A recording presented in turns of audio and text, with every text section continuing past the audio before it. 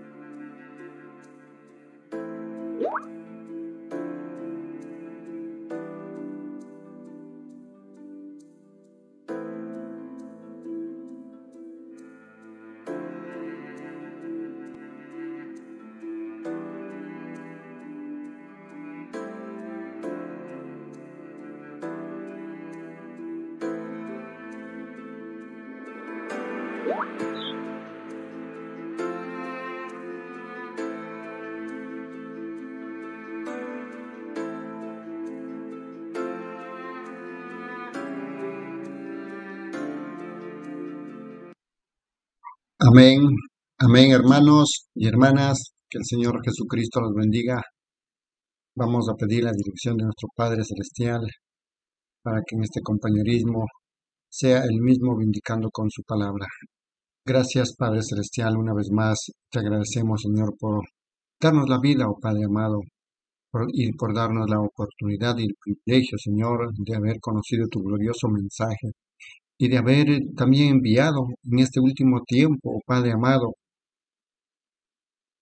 Somos tan glorificados, somos tan privilegiados, oh Padre amado.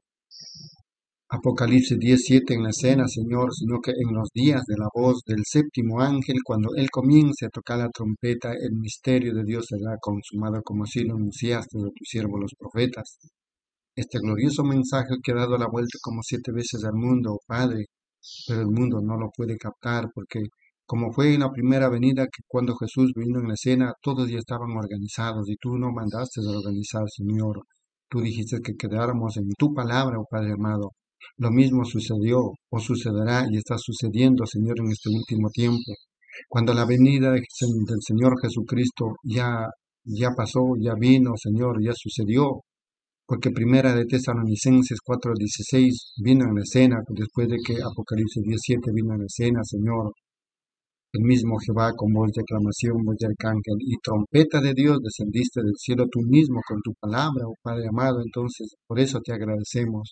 Por eso te decimos muchas gracias por esta gran oportunidad que tú nos das, Señor.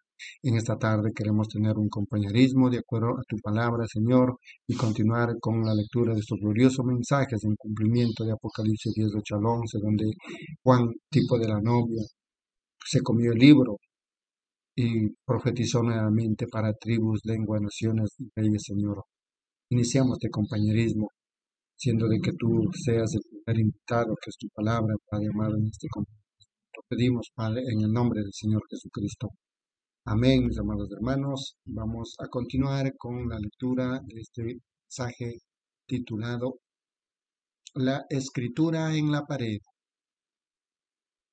Servicio realizado en Jeffersonville, Indiana, Estados Unidos, día 9 de marzo del año 1958. Vamos a continuar en los párrafos 8. Dice, si yo les escribo una carta, quizás ustedes aprecien la carta, y si ustedes me escriben una, estoy seguro que yo también la apreciaría, apreciaría. Pero mi carta solamente sería para ustedes. Por lo tanto, después que ustedes la leyeran una vez, entenderán todo el significado y la carta ya no les será necesaria.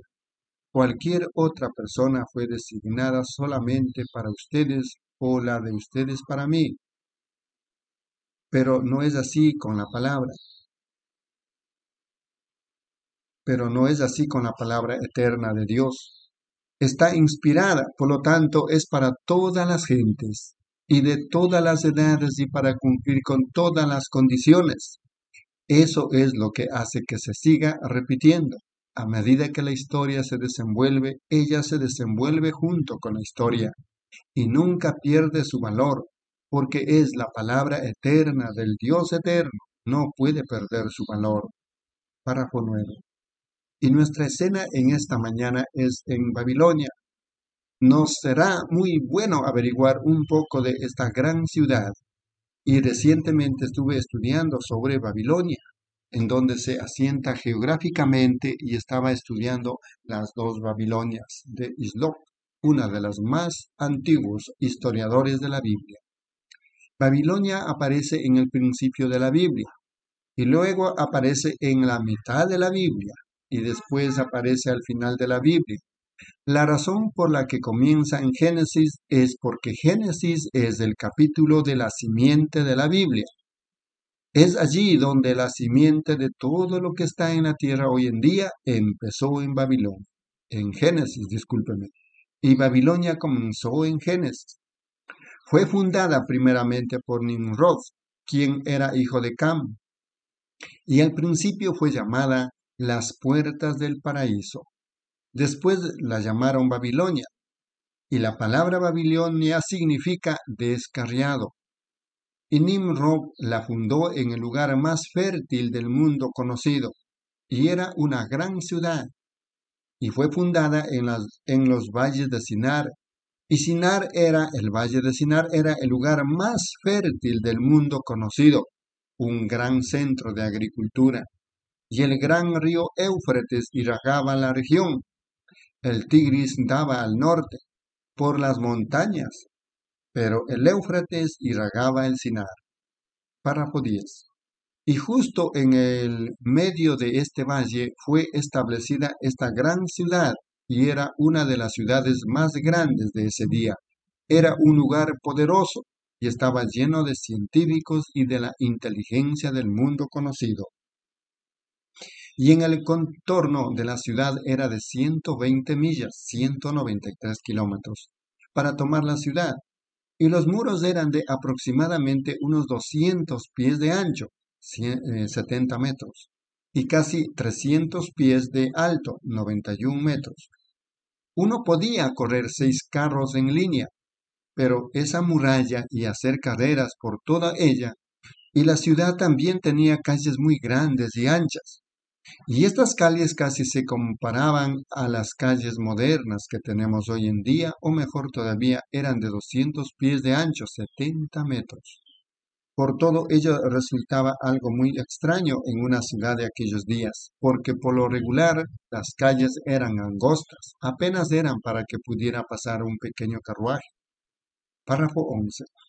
Hace un tiempo tuve el privilegio de estar en Oslo, Noruega, y al internarse uno en la parte más vieja de la ciudad, que bien pudiera tener unos mil años de antigüedad, uno apenas se podía meter un automóvil a través de las calles de la ciudad, porque la única forma de transportación que tenían eran carruajes o con jinetes. Y es de esa manera como eran construidas las ciudades antiguas. Pero esta Babilonia tenía unas calles de 200 pies de ancho. Los ejércitos podían marchar con toda su armadura y todos juntos, y 200 pies de ancho, carruaje tras carruaje. Párrafo 12. Y había sido construida algo parecido a la Roma actual, en donde la moderna Babilonia se asienta. Cada calle daba a la capital y el trono, quiero decir, eh, al trono. El trono era un gran lugar en medio de la ciudad y ante el trono corrían el gran río Éufrates. Y las grandes puertas de esta ciudad eran de doscientos pies de ancho y ciento cincuenta o doscientos pies de alto, fabricadas en puro bronce. O era una ciudad colosal, y por todos sus muros colgaban grandes jardines, y estos jardines eran grandes lugares de entretenimiento. Y en la ciudad se habían propuesto vivir simplemente de cualquier manera que quisieran vivir. Por lo tanto, pensaron entonces que si podían hacer eso, construirían una torre tan alta en caso que alguna vez lo inundaran las aguas del juicio. Ellos simplemente correrían a la torre y estarían a salvo. Párrafo 13. Como pueden ver, es el mismo cuadro de la América moderna, tratando de obtener un Sputnik, satélite ruso, o algo para llegar a la luna, pensando que estaríamos a salvo. Pero Dios los ve sin importar en dónde se encuentren.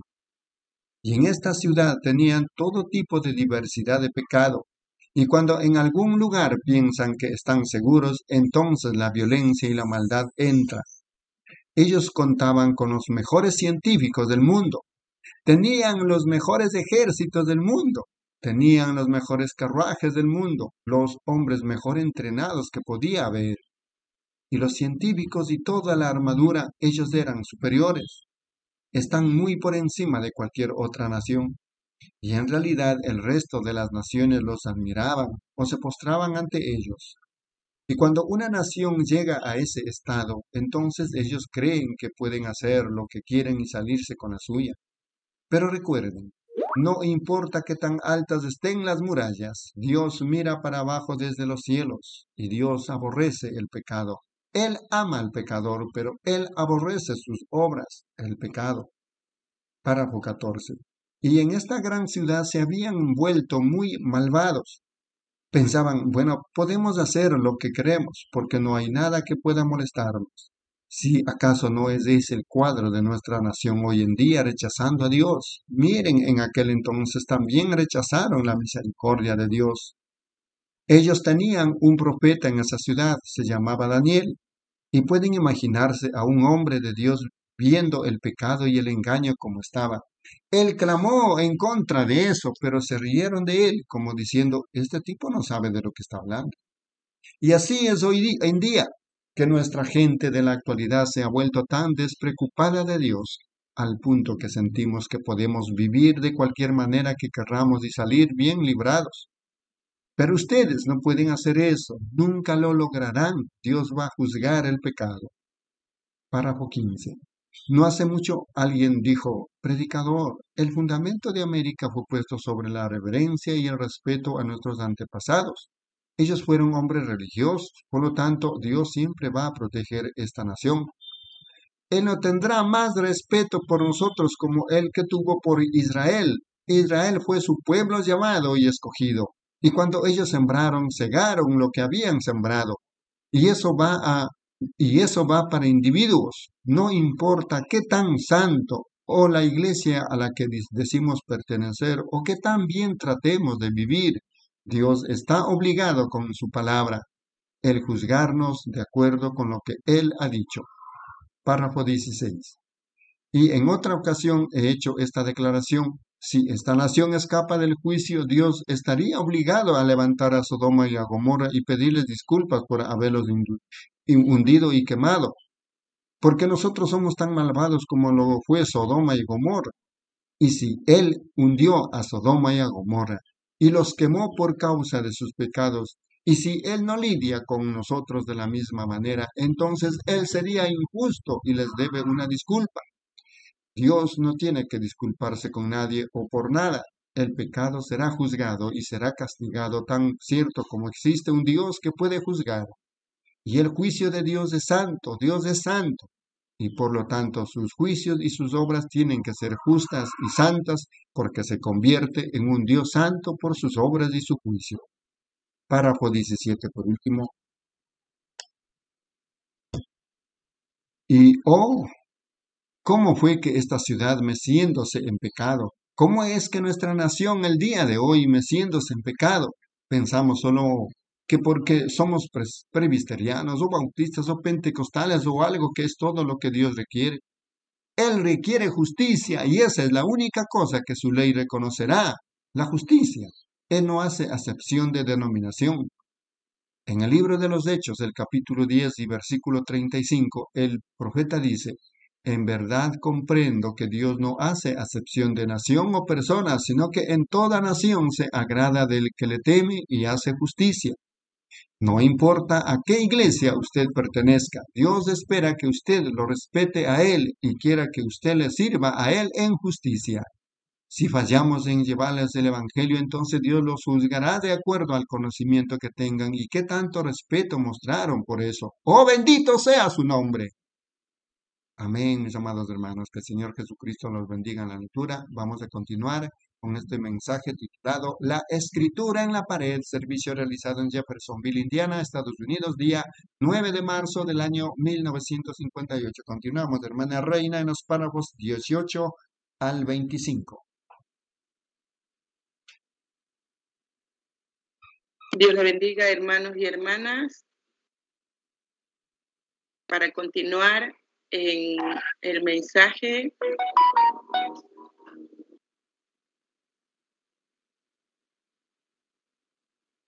la escritura en la pared, predicado el 9 de marzo del año 1958. Párrafo 18. Y usted simplemente puede sentir en el día que estamos viviendo que algo está a punto de suceder. O estoy esperando con gran anticipación una mañana gloriosa en la que todos los problemas habrán terminado y el bendito Señor vendrá y seremos arrebatados para encontrarnos con Él en el aire. O debiera ser el mismísimo motivo de cada corazón y el mismísimo objetivo de cada corazón el estar esperando ese tiempo para ver que todos nuestros problemas y pruebas habrán terminado. 19. Y al pensar otra vez ahora en Babilonia para continuar con nuestro mensaje, encontramos en esta gran ciudad que cuando se aseguraron muy bien, ninguna nación podía llegar a ellos, pues tenían que cavar a través de unas paredes de 200 pies cientos de pies de alto y unas puertas grandes de bronce que se necesitaba toda una compañía de soldados para abrirla. Estaban muy bien fortificados. No tenían necesidad de preocuparse de otra nación. Ahora, esa parte estaba bien, pero cuando ponen pecado adentro, entonces recuerden, Dios puede ver en cualquier parte y mirarlo a usted no importa qué tan bien fortificado esté. Y quiero decir esto, solamente hay una manera en la que un cristiano puede estar fortificado. Eso es bajo la sangre del Hijo del Dios vivo. Eso es algo por donde Él no puede mirar y juzgar. Si usted está cubierto con la sangre, entonces Dios no lo verá. Él dice en las escrituras, Cuando yo vea la sangre, pasaré, pasaré de vosotros. Amén. Párrafo 20. Pero esta gente estaba despreocupada de eso. Ellos tenían sus propias religiones, así que vivían por ellas. Ustedes saben, hay camino que al hombre le parece derecho, eh, pero su fin son caminos de muerte. Ahora, en esta ciudad tenían a un rey que era uno de estos muchachos fiesteros modernos, o algo parecido a uno de nuestros comediantes de radio, un moderno Arthur Godfrey o Elvis Presley o alguien como eso.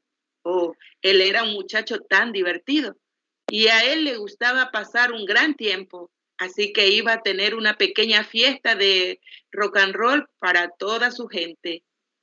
Oh, si acaso no ha sido eso una maldición, y pensar que hombres y mujeres que se hacen llamar siervos de Cristo se complacen en esa cosa. Con, discos en los aparatos de sus casas. Tiren esas cosas por la puerta. 21.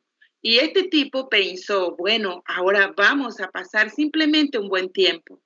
Y le mandó una gran invitación a todas las celebridades. Y él escogió a sus elegidos, aquellos que podían bailar mejor y a las mujeres más bonitas. Y los metió a todos a un grandioso jardín colgante que estaba justo detrás del palacio para un baile moderno. Y se iban a divertir mucho y todos los soldados y todos ellos se pusieron una buena borrachera. Si acaso no es esa una América moderna, entonces no sé en dónde está una. Así que estaban teniendo un gran tiempo y ellos prendieron todos los adornos, igual como un buen programa de televisión. Y estaban allá atrás mujeres, sin duda con niñeras en casa, cuidándoles los niños y la Biblia dice que él mandó a llamar a todas sus concubinas y la concubina era una prostituta legal. Y la única diferencia es que el día de hoy siguen siendo la misma cosa, pero no de manera legal. Y dejaron a los bebés en casa con niñeras y se pusieron su ropa nueva y moderna, sus pequeñas falditas y demás, y se fueron a la juerga del rey, a una fiesta de rock and roll rockera. 22. Oh, no pueden ver que América está en esa misma condición. Oh, el rey lo apoyaba. Así que tenía que estar bien. Si el rey lo hace, bueno, eso lo establece. Bueno, solo porque en América le dejan vender whisky, cigarrillos y tabacos y cerveza. Eso no lo hace correcto a la vista de Dios. Dios va a juzgar el pecado. Amén. Usted dice, bueno, nuestra nación lo vende, pero ustedes debieran tener el verdadero principio de hombres y mujeres que se alejan de eso. Nuestra nación es gobernada por el diablo, de la misma manera que lo están siendo las otras naciones. La Biblia dice que lo están, así que uno no se puede regir por la manera en que la nación está siendo gobernada. Satanás dijo, todos estos reinos son míos, haré con ellos lo que yo quiera. Y él le dijo a Jesús, todo esto te daré, si postrado me adorares. Jesús sabía que él los, los heredaría en el milenio. Así que él le dijo, escrito está, al Señor tu Dios adorarás y a Él solo servirás. Esa es una muy buena predicación para la iglesia. ¿Cuánto más para Satanás? No importa lo que usted tenga. Hemos sido ordenados a adorar al Señor nuestro Dios y servirle solo a Él. Amén. 23. Así que el rey preparó la gran cena e hizo que toda la comida estuviera lista y la mejor cerveza que tenían y sus vinos, la mejor que anunciaban e iban a tener un gran tiempo. Y él invitó a todas las muchachas de Hollywood y a todos ellos, y todos asistieron, y a los mejores bailarines que tenían. Estaban todos allá afuera, en este gran jardín, teniendo un rock and roll moderno. ¡Qué celebración! Danzando, bebiendo y divirtiéndose. ¿No dice la Biblia que de esa manera estarían? dice que serían sin afecto natural, implacables, calumniadores, intemperantes, crueles, aborrecedores de lo bueno, traidores, impetuosos, infatuados, amadores de los deleites más que de Dios. ¿Qué día en el que estamos viviendo? Párrafo 24. Ahora, quiero que se pellizquen su conciencia espiritual. Fue en este tiempo cuando estaban teniendo todo esto. Y yo puedo simplemente ver a, las jovencitas tomando su cerveza y estaban haciendo su rock and roll o boogie boogie, solo teniendo un gran tiempo allí, bailando por todo el lugar. Y esos soldados borrachos columpiando a esas mujeres y acercándoselas y sentándolas en su regazo. Y ellos estaban teniendo una pequeña sana diversión. Eso es lo que América lo llama hoy día. Solo una pequeña sana diversión. Es pecado. La Biblia dice, ella que vive en placer, viviendo está muerta. Y la manera en la que nuestras mujeres en América han perdido la moral, ya casi ni saben lo que la palabra moral significa. 25. No hace mucho yo les estaba reprendiendo por esa causa. Y una mujer me dijo, yo le dije, le dije, si usted sigue usando esa ropa de la manera que lo está haciendo, usted va a tener que responder por eso en el día del juicio por haber cometido adulterio. Ella era una mujer casada. Ella dijo, le quiero hacer de su conocimiento, hermano Branham, que yo nunca he hecho nada indebido. Yo dije, pero los otros hombres que la han mirado han hecho algo errado. Porque Jesús dijo, cualquiera que mira a una mujer para codiciarla, ya adulteró con ella en su corazón. Y cuando ese pecador tenga que responder por adulterio, usted responderá como la culpable, porque usted se presentó ante él de esa manera. Dijo, bueno, hermano Branja, ese es el tipo de ropa que venden. Ese es el único tipo de ropa que venden. Ellos todavía venden máquinas de coser, todavía tienen, tienen telas. Amén. Dios le bendiga, mis hermanos. Amén, hermana Reina. Dios le bendiga la lectura. Recordando, estamos lecturando este glorioso mensaje, la escritura en la pared, mensaje predicado en Jeffersonville, Indiana, Estados Unidos, día 9 de marzo del año 1958. Continuamos, hermana Janet, Dios le bendiga, en los párrafos 26 al 33.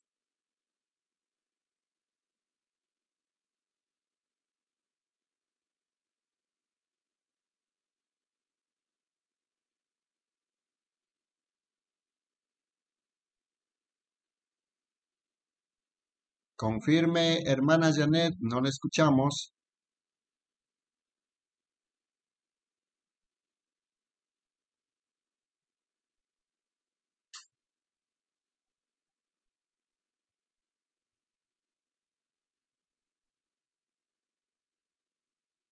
A ver, confirme, hermana Janet, no le podemos escuchar.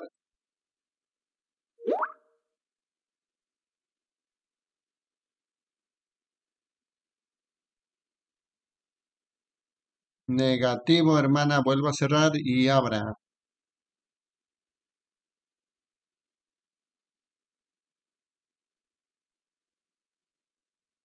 Negativo, negativo, hermana Janet.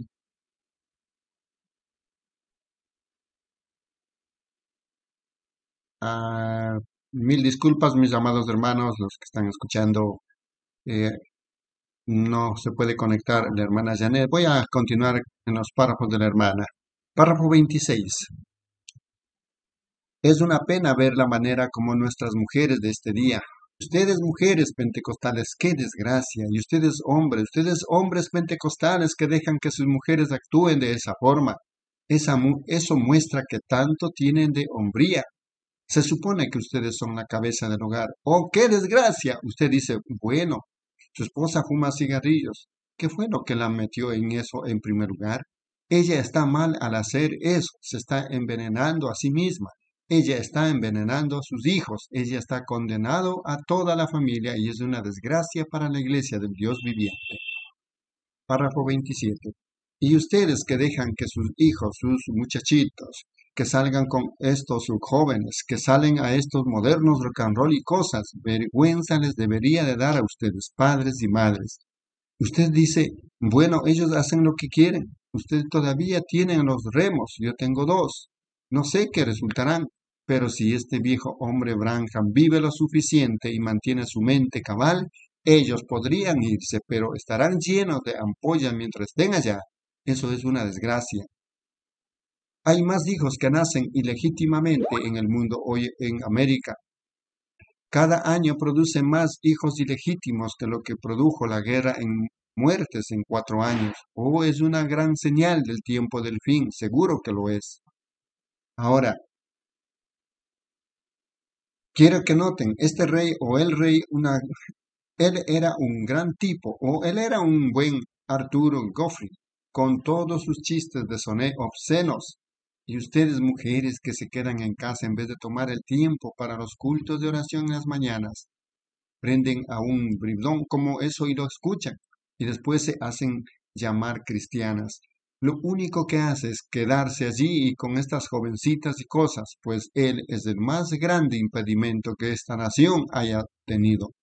Oh, sí, es Sí, él es un verdadero americano. Si usted le llama a eso americano, pudiera ser un buen americano, pero está muy lejos de la cristiandad. Pero usted no tiene tiempo para un culto de oración o para leer la Biblia.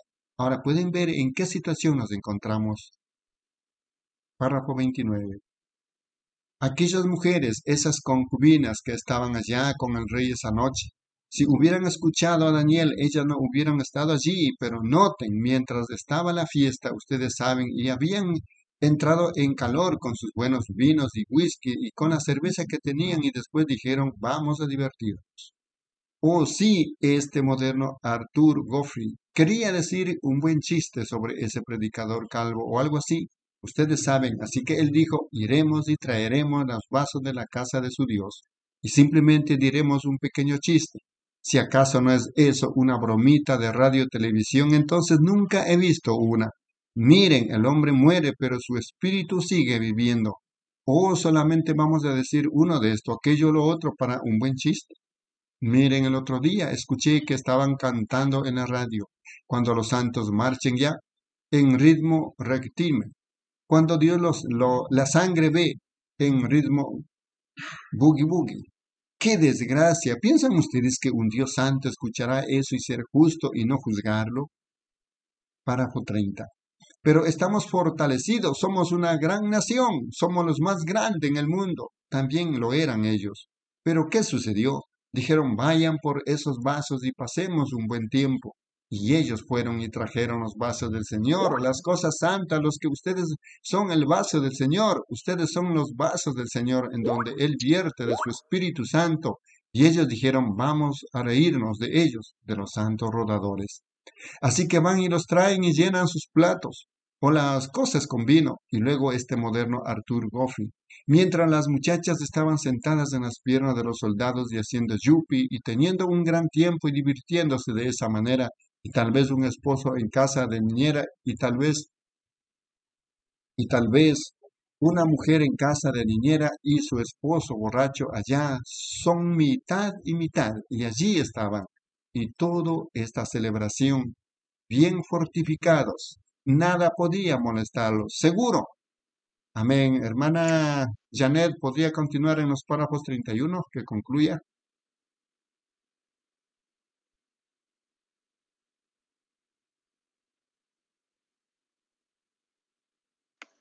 Párrafo 31. ¿Ahí me escucha, hermano? Afirmativo, hermana. Dios le bendiga. Prosiga. Dios le bendiga a mis hermanos. Discúlpeme.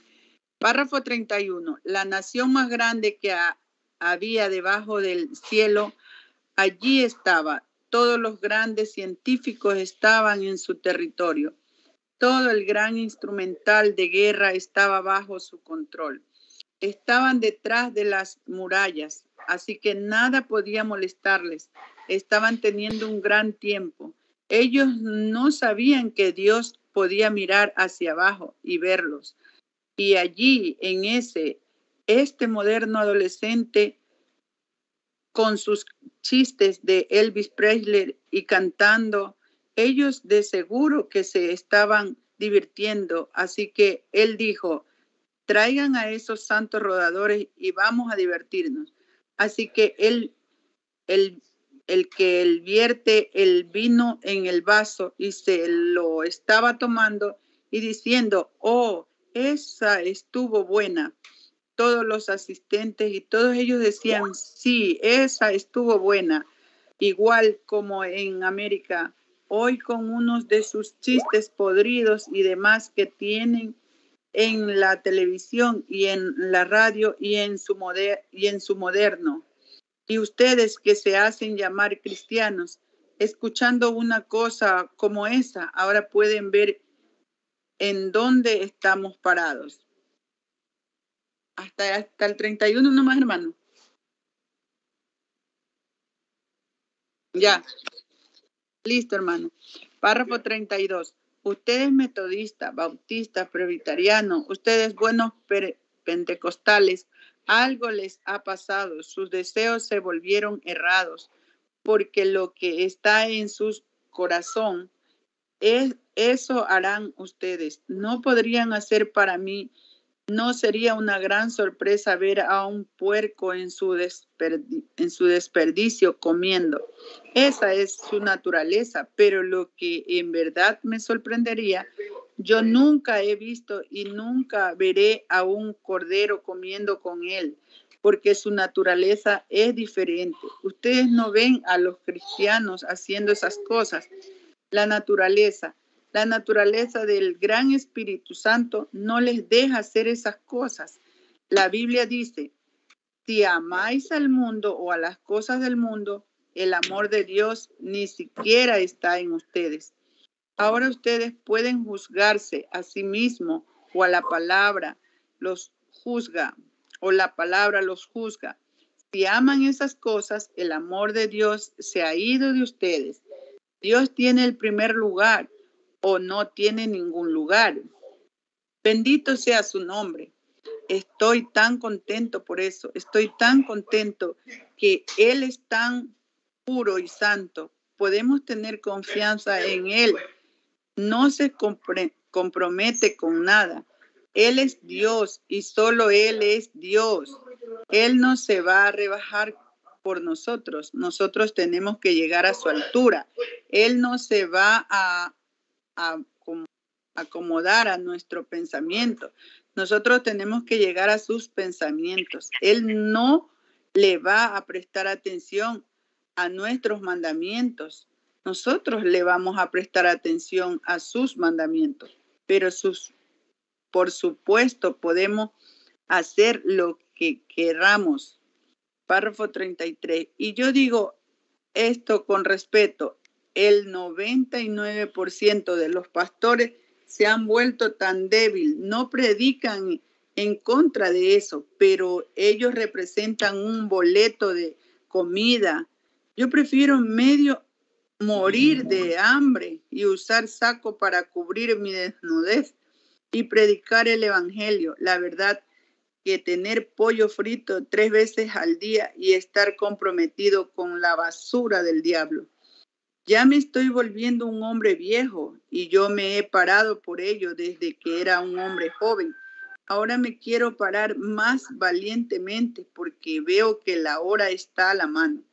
¿Qué creen ustedes que harían los profetas de la antigüedad si se levantaran el día de hoy? Miren la, la condición. Dios le bendiga, mis amados hermanos. amén, amén, hermana Janet. Dios le bendiga la lectura. Eh, recordando, estamos lecturando este glorioso mensaje, la escritura en la pared, mensaje predicado en Jeffersonville, Indiana, Estados Unidos, día 9 de marzo del año 1958. Para continuar con la lectura, hermana Erika, Dios le bendiga en los párrafos 34 al 43. Dios le bendiga, hermanos y hermanas. Vamos a continuar con el mensaje, la escritura en la pared, párrafo 34. Y este hombre con su botella de vino, bebiendo, teniendo un gran tiempo, Él dijo, esperen un minuto, todos ustedes escúchenme. Prenden ahora su radio. Las cosas vulgares, cosas sucias, sucias que se permiten, programas sin censura. ¿Cuándo comenzó? Miren, atrás de la historia. Comenzó allá atrás en los días de, de Clara Bow y con sus tejemanejes pecaminosos de Texas, salió e hizo esta ropa interior para mujeres que las hace ver sexuales. Y esto dio comienzo a la primera canción vulgar y lo dejaron pasar. Y era sobre las damas que se bajaban las medias y enseñaban sus bonitas rodillas. Ellos se salieron con la suya en eso y ahora sin censura pueden decir y hacer lo que quieran. El diablo, el diablo ve las cosas sin disparar una sola bala. Eso es correcto. ¿Qué piensan ustedes que harían esas prostitutas de Hollywood que están ahora en el infierno si pudieran regresar? Ellas la harían de manera diferente, pero su influencia sobre el mundo ha prendido al mundo en una llama de corrupción. Párrafo 35. Oh, bendito sea el nombre del Señor. Cuánto más debería de causar la influencia de la iglesia cristiana. Prenderían al mundo en llamas con la cristiandad, pero en lugar de eso tratamos de imitarlos. Cristo es nuestro ejemplo y no alguna estrella de Hollywood o alguna estrella de televisión. Pero somos modernos, nosotros fumamos, palmo y se irán al infierno por, por hacerlo. Las fotografías que colocan de las muchachas son cigarrillos, mujeres bonitas. Eso es un engaño del diablo. Véanlas unos años después de estar fumando con tuberculosis en algún lugar, muriendo, miserables, pero es algo moderno. Se lo presentan así a los jóvenes. Párrafo 36. Y uno coloca una fotografía de sanidad divina o de algo o de Cristo ellos no permitirán que lo haga, pero somos modernos. Tenemos que ser lo que, perdón, el resto del mundo. Todos esos son esos señalamientos publicitarios de cerveza, de, de Orti 92, de Pop, Blue Ribbon, todas esas, ¿qué hacen? los ponen en esos programas de televisión porque están excepto de impuestos. El diablo se ha encargado de todo eso. Oh Dios, ten misericordia. ¿No pueden ver, amigos, que estamos al final del camino? ¿Cómo es que el diablo se ha desbarrancado en esas cosas? Se le ha sido permitido, porque él sabe que sus días han sido contados. Párrafo 37. Así que este joven con su copa de vino hizo un brindis. Oh, vaya, me imagino que todos los hombres querían actuar como él. Uno puede ver a los muchachitos en la escuela cuando tienen que subir sus pequeños overoles a la cadera y se dejan crecer el pelo como un montón de vagos para actuar igual que Elvis Presley. Dios bendiga el, director de ese colegio que, digo, que dijo el otro día. Enderezarán y se vestirán como hombres o serán expulsados de este colegio. Ese es un verdadero americano. Él dijo que cuando se visten así, actúan de la misma forma. Y eso es verdad. Y cuando usted se viste como una prostituta, usted actuará como una. O usted tiene mucho que ver con la clase de espíritu que está dentro de usted. Ciertamente, le hace la manera de lo que usted tiene por dentro. Le hace vestir, actuar y vivir de esa manera. Lo que sea que esté dentro de usted, eso los gobierna, ciertamente. Párrafo 38. Pero ahora él tiene su copa levantada. Oh, ¿cómo estaba él? Con su gran sonrisa, con ese baile que iba a presentar ante la gente, ante toda la gente. Si acaso no es ese un buen programa de televisión, ¿acaso no hubiera ido Hollywood a presentar ese acto? O déjenme decirles, él dijo, esto es lo que voy a hacer. ¿Se acuerdan de ese montón de santos rodeadores que solíamos tener por aquí? ¿Ven? Y justo en el momento en que empezamos a tomar trago de su copa, él miró la pared Ustedes saben, en el jardín estaba colgando un gran candelabro y estaba un encalado en la pared y las luces estaban reflejando sobre el encalado desde el jardín y sus ojos se sobresaltaron y, él, y él en, en verdad se estremeció. La Biblia dice que eso le sucedió. Dice, huesos se le dislocaron y sus rodillas se batían la una con la otra. Párrafo 39. Sí, uno de estos días esta nación va a estremecerse completamente con toda seguridad. Oh, sí, seguro. Ellos le llaman aleluya, sanadores divinos, esto, aquello y lo otro, todo lo que ellos son. Solo esperen, Dios es justo, Él va a mandar el mensaje de todas maneras. Él hizo así en todas las otras edades y lo hará ahora y lo está haciendo. Y Él lo está haciendo, perdón. Y el avivamiento está ya casi por terminar. perdón. ¿Recuerdan el así dice el Señor? Yo dije, América hizo su decisión final en 1956 Observen, desde entonces ella estaba acabada y no queda más que el juicio y el caos. Miren lo que ha sucedido desde entonces, solamente observenlo, como irá cada vez más rápido.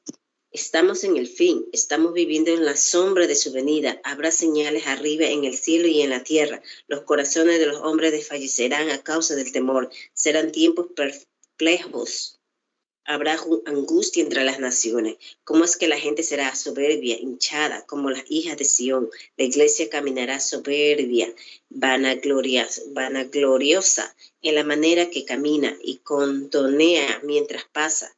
¿En dónde estamos? Estamos en la fiesta de rock and roll de Belsasar y la iglesia ha sido atrapada en la oleada a través de, la televisión, a través de la radio, a través de Hollywood, es allí donde nos encontramos, verdaderas mujeres cristianas cortándose el cabello, usando maquillaje en la cara, vistiéndose en esa ropa sucia, por causa que gente reproba les, les ha dicho que no hace ningún daño usarlas.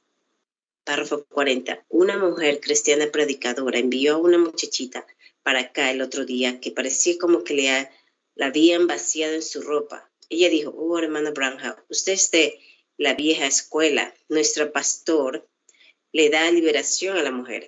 Yo dije, ¿la libera de qué? La están liberando de Cristo y de la decencia común. Oh, la mujer es muy famosa, ciertamente, pero cualquier cosa que la haga es un hijo del infierno. Por sus frutos los conoceréis.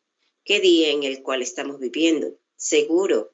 Yo no sé si digo qué tipo de ropa debe usar y demás, pero mujeres no se dan cuenta de lo que está, están haciendo, se están colocando ustedes mismos como una marca para todo aquel vago, embaucador que pasa, pero ustedes quieren liberación. Eso muestra qué tipo de espíritu está en usted. Usted quiere liberarse de la iglesia, liberarse de Cristo, liberarse del Espíritu Santo para poder vivir como el resto. Eso no es, al tabernáculo Branja. Eso incluye al tabernáculo Branja, por cuantos todos, todos pecaron y están destituidos de la gloria de Dios.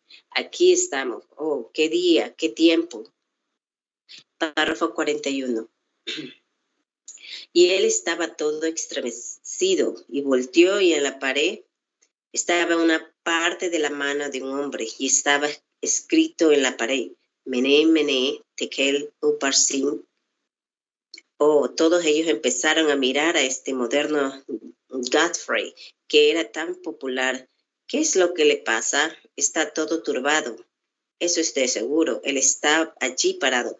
La Biblia dice que sus rodillas se batían la una con la otra y algo había sucedido. ¿Qué fue? Él no podía entenderlo. Él pensó que nadie podía llegar hasta Él, pero Dios puede llegar hasta usted. No importa dónde se encuentre, Él lo conoce a usted, Él conoce sus obras. Así que Él dijo, solamente hay una cosa que podemos hacer, eso es llamar al pastor. Así que Él fue y trajo al pastor y el cardenal y el arzobispo y el papa de su iglesia y los metió a todos. Él preguntó, ¿qué significa esto? Párrafo 42. Ahora ustedes verán a una americana moderna. Ellos no conocían nada de, la, de lo sobrenatural, así que no podían entenderlo. Bendito sea el nombre del Señor. Podrían tener sus dudas con respecto a que ellos le llamarían al Espíritu del Dios viviente un adivino o del diablo. Ellos no sabían nada de, la, de lo sobrenatural. Estaban todos envueltos en su denominación. No sabían nada al respecto. Ellos dijeron, oh, eso es solamente una pequeña telepatía mental, pero la escritura estaba en la pared. Él hizo una señal delante del judío cuando era el cierre de ellos. Él lo hizo delante de los samaritanos, pero no al gentil. ¿Por qué? Él tenía que esperar hasta que el pecado del amorreo llegara a su colmo. Ahora la escritura está en la pared para nosotros. Párrafo 43. ¿Qué están haciendo? ¿Le están prestando atención? No, señor. Ellos siguen adelante con Arthur Godfrey y el Elvis Presley y Pat Boone y todo el resto de ellos, modernos, jovencitos, adolescentes, violencia. Eso es lo mismo que estaba ya, exactamente. Él trajo a todos los pastores y ellos dijeron, bueno, no sabemos eso, o Tal vez, o eso quizás sea la sombra de algún lado. El rey tenía mejor comprensión que eso. Y él dijo, yo le daré a cualquier hombre una parte de mi reino y será vestido y tendrá collar de oro a su cuello si puede interpretar eso. Pero ellos no tenían el don de interpretación, no sabían nada al respecto. Ellos creían que los días de milagros habían pasado. ¿No es lo mismo con nuestros predicadores modernos? ¿No es lo mismo con nuestros supervisores generales, nuestros obispos? Ellos no saben nada de lo sobrenatural. Esa es la razón por la que pueden llamarle al Espíritu del Dios viviente un acto premeditado. Oh Dios, tenga misericordia de una generación adúltera e inmunda, pereciendo de la faz de la tierra. Dios le bendiga, mis hermanos. Amén, hermana Erika. Dios le bendiga la lectura. Continuamos con este glorioso mensaje titulado La Escritura en la Pared, mensaje predicado en Jeffersonville, Indiana, Estados Unidos, día 9 de marzo del año 1958. Continuamos, hermana Rosalia. Dios le bendiga en los párrafos 44 al 53. Amén, hermanos. Hermanas y hermanos, Dios le bendiga. Continuando con el párrafo 44 de la Escritura en la Pared. Y allí estaba, todavía sus rodillas se batían la una con la otra. Algo estaba mal. Él sabía que algo estaba mal o había una señal sobrenatural. ¿Cómo se metió al lugar? ¿De dónde vino? Vino de arriba. Bajó por donde no había paredes, pudo entrar. Y hoy en día tenemos el rock and roll. Hemos llevado a nuestros hijos a la televisión y a programas sin censura. Permitimos que nuestros pisos y nuestras mesas se llenen de viejas historias de amor sucias y sensuales. En lugar de la palabra de Dios, no hay un niño en esta ciudad que no sepa más de Arthur Godfrey o Elvis Presley o Pat Boone o de David Crockett que lo que sabe sobre Jesucristo. Eso es muy directo, pero es, oh, tan cierto. Con razón hay una apostasía. ¿Y qué es lo que saben los pastores? Ellos no saben cuál es la causa de eso. Ellos son los causantes de eso. Y allí estaba el parado. También Balsasar era la causa de eso, al permitir que su reino llegara a un estado como ese. Y hoy en día, en medio de toda esa cosa que estamos atravesando, pensamos que estábamos fortificados. Nosotros pensamos que somos la mejor y más grande nación en la tierra. Tenemos a toda la ciencia aquí y ni se imagina Belsasar que no tenía a todos los científicos.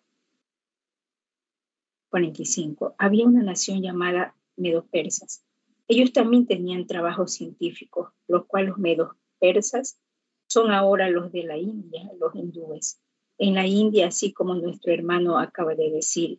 Y finalmente ellos terminaron en la India como hindúes medos persas y habían encontrado una manera científica para desviar el río Éufrates. No podían atravesar las murallas, pero desviaron el río y estaban entrando por debajo de los portones. La ciencia estaba trabajando por algún lado, una gran nación pecaminosa y atea en aquel tiempo. Y Dios puso una señal en la pared para darles a conocer que sus días habían terminado. Y Dios pone una señal en nuestra pared y en nuestra gran fiesta de rock and roll y hay un Sputnik volando por los cielos. O pensábamos que lo teníamos todo.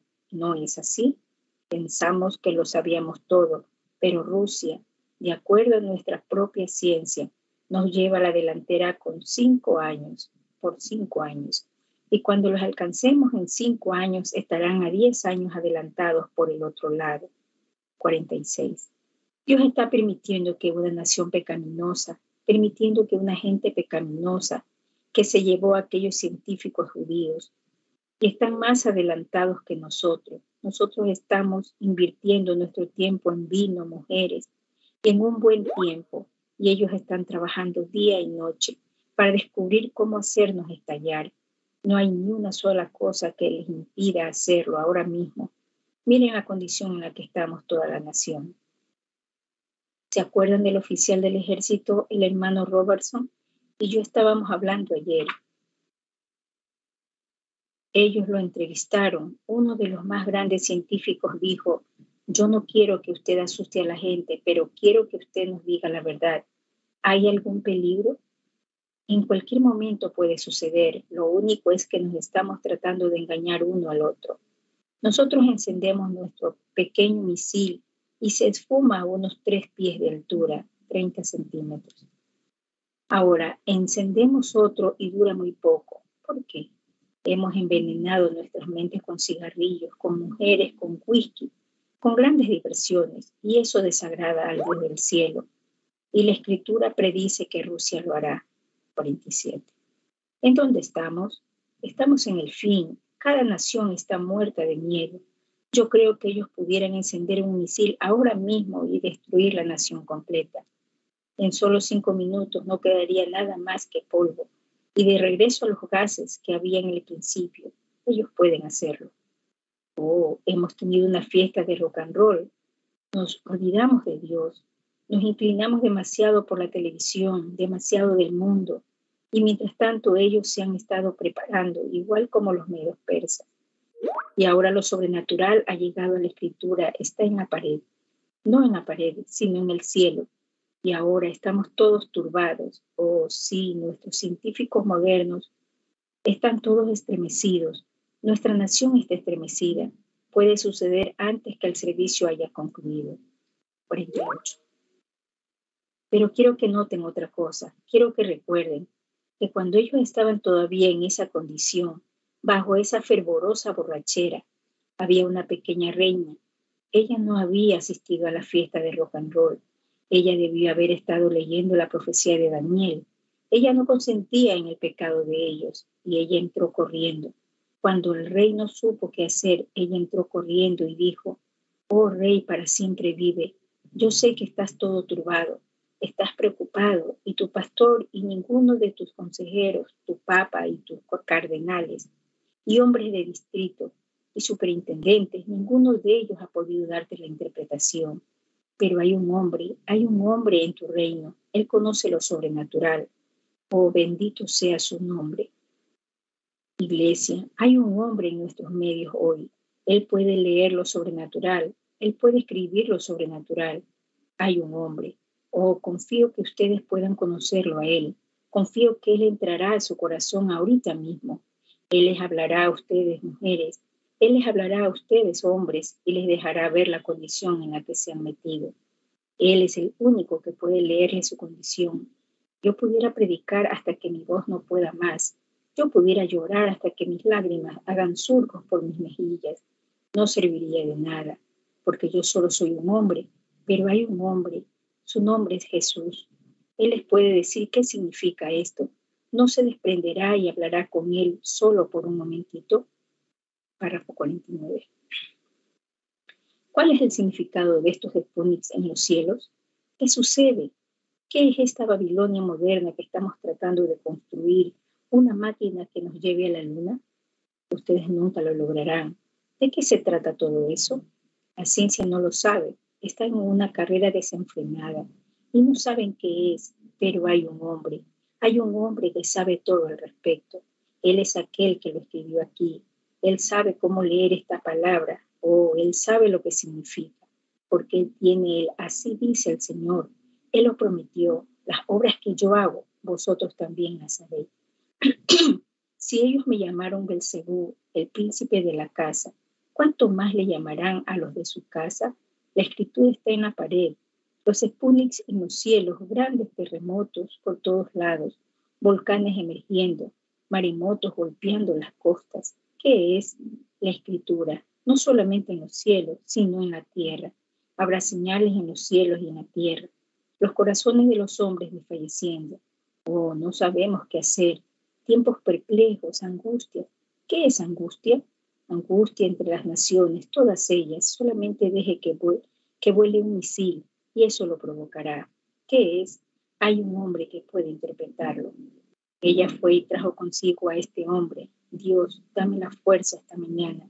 Dios, dame el poder para traer ese hombre a tu necesidad de hoy. Traérselo a ustedes. Él es aquel que puede interpretar su caso. Él es aquel que puede decirles en dónde cometieron su error. Él es aquel que puede decirles en dónde fue que fallaron. Él es aquel que puede decirles dónde empezar. Párrafo 50. Y ella fue y trajo a Daniel, el representante de Dios, y él entró. Pueden imaginarse a un santo profeta diciendo, oh rey, me honra el estar aquí, o si tan solo pudiera, pudiera decir la palabra correcta, recibiría ese collar de oro. Oh, usted. ¿Pueden darse cuenta cómo está hoy en día? Si puedo rascar el oído de mi gente, dejar que estas cosas sigan de la misma manera. A mí no me interesa lo que ellos hagan. Ellos pagan muy bien para el tesoro de la iglesia. Ellos hacen esto, aquello, lo otro. O la edificaremos una gran iglesia y le pondremos una gran torre. Haremos esto, aquello, lo otro. Oh Dios es misericordioso con tales personas. Dame la verdad, sí. O si decimos algo como eso, hermano, nuestra gente se levantará y se irá. No lo harán si aman a Dios. Ellos amarán el oír eso. Un verdadero hombre de Dios no mira para este lado y luego para el otro lado. Él no mira si alguien está diciendo, eso es bueno, lo estás haciendo bien, o ver si alguien dice, oh, no debería de hacer eso. A él no le importa lo que alguien más diga, él está disfrutando la compañía del Espíritu Santo y solamente está mirando hacia arriba y adelante. A él no le importa lo que el predicador diga o lo que la otra gente diga. Él está disfrutando la compañía de aquel que lo envió. Eso es correcto. Él solamente está para complacer a uno. 51. Fíjense en esto. Él dijo, oh Belsasar, debiste ser mejor que esto. ¿Que no conociste a tu padre Nabucodonosor? ¿Quien en realidad era su abuelo? Dijo, ¿que no conociste a tu padre lo cual era una sucesión de reyes. Belsasar, ¿qué? ¿No conoces algo mejor? Tuviste un ejemplo en el pasado con lo que Dios le hizo a tu padre cuando él se ensoberbeció con altivez y dejó que su reinado continuara de esa forma. Tú recibiste un ejemplo en lo que él hizo.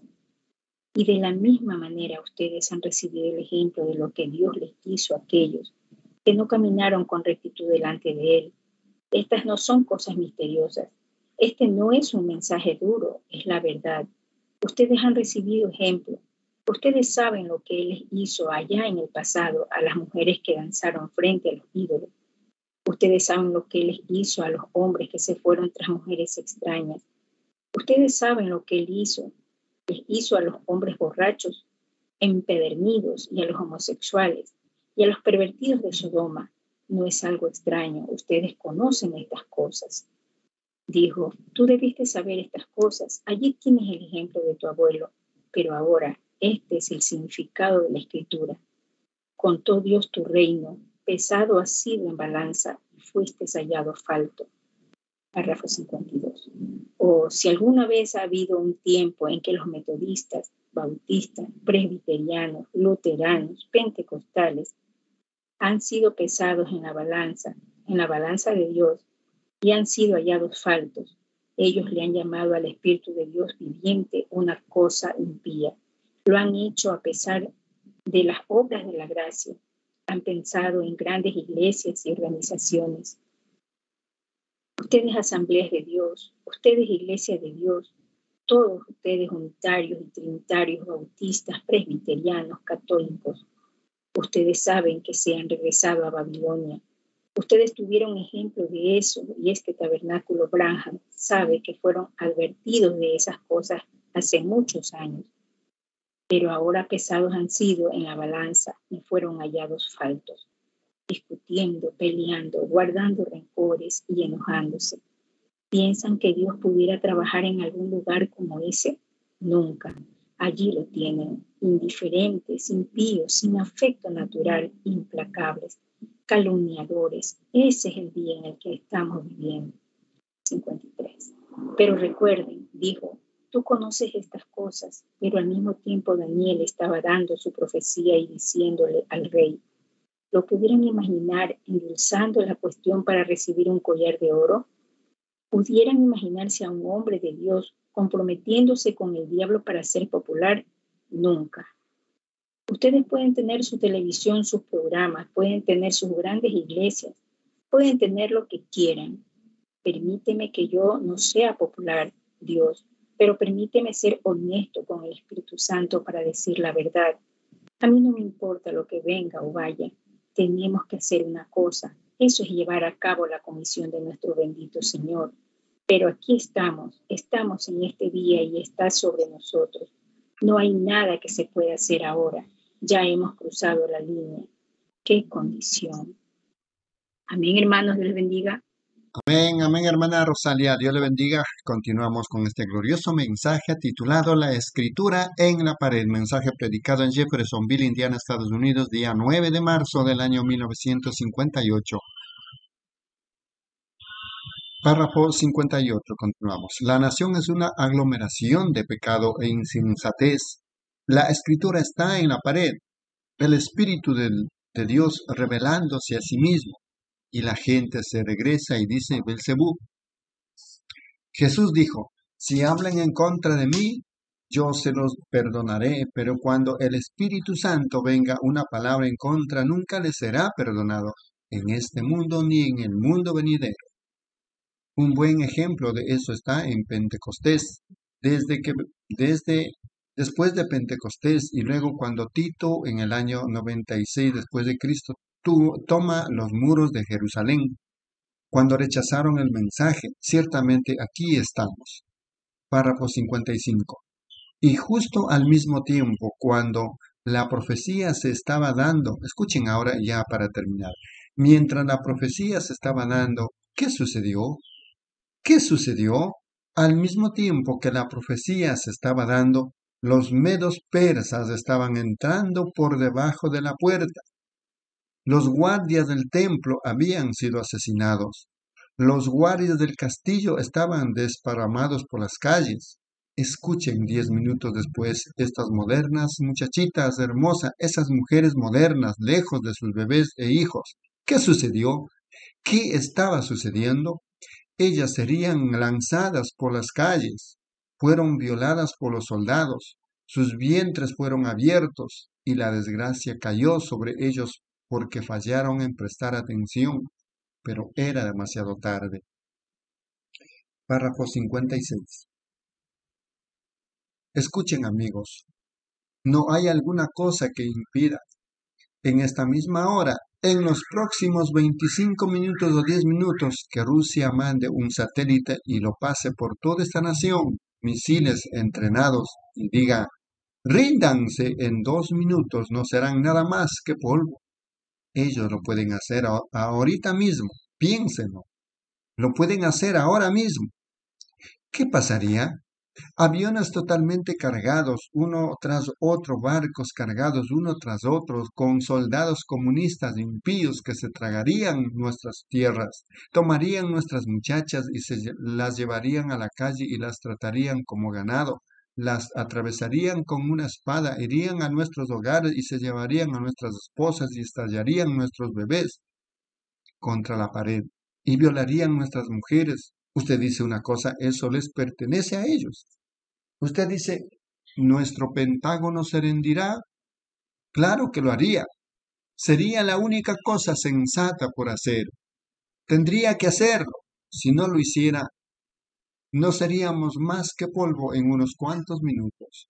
Tendríamos quizás solamente unas cuantas horas de vida. Pero qué matanza. ¿Qué?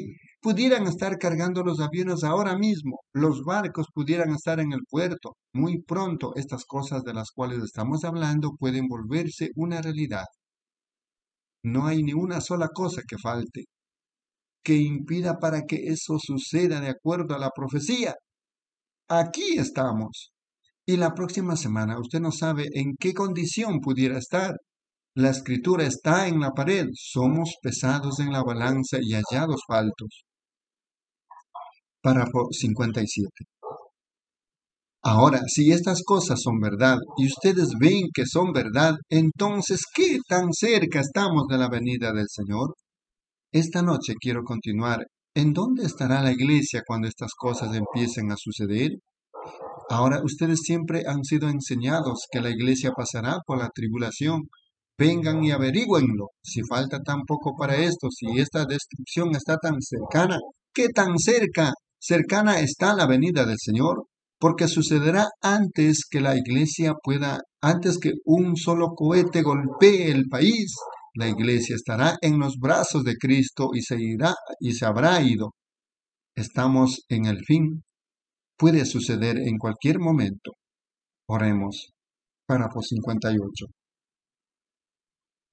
Quiero aquí a las personas que lo han pensado profundamente. Quiero a aquellos que en verdad saben que ese hombre les ha estado hablando durante los últimos minutos. Y si yo he estado equivocado, yo quiero arreglarme con ese hombre porque él es el único que puede leer esta escritura. Yo quiero estar bien. ¿Podría levantar sus manos y decir, ore por mí, hermano Branca? Dios le bendiga, Señor. Dios le bendiga, dama. Dios le bendiga, señor. Dios le bendiga, joven. Dios le bendiga, dama. A usted, a usted, eso es correcto. Dios le bendiga. Dios le bendiga, señor. Dios le bendiga. Jovencita, Dios le bendiga. Señora, joven, Dios le bendiga, muchacha. Dios le bendiga a los niños de la parte de atrás, la pequeña adolescente, al niño pequeño, Dios le bendiga. Están justo en el momento crucial de la vida. Párrafo 59 o pudiera suceder y va a suceder, tiene que suceder. Y esta cuerda suelta por donde está caminando, cariño, se va a romper y, y su pobre alma indefensa. ¿Qué será de usted? El tiempo no será más. El tiempo se empalmará con la eternidad. La escritura está en la pared. Una prueba científica. Ellos están tratando de llegar a la luna igual como lo hicieron en Babilonia. Todo se está repitiendo. El Dios del cielo ya no puede mantenerse quieto por más tiempo. Es la hora. ¿Cuándo? Yo no sé, pero es tiempo. Falsos profetas están mintiendo, negando la verdad de Dios, que Jesucristo es nuestro Dios. Los días gentiles contados han sido cargados de horrores. Volved dispersos a lo vuestro.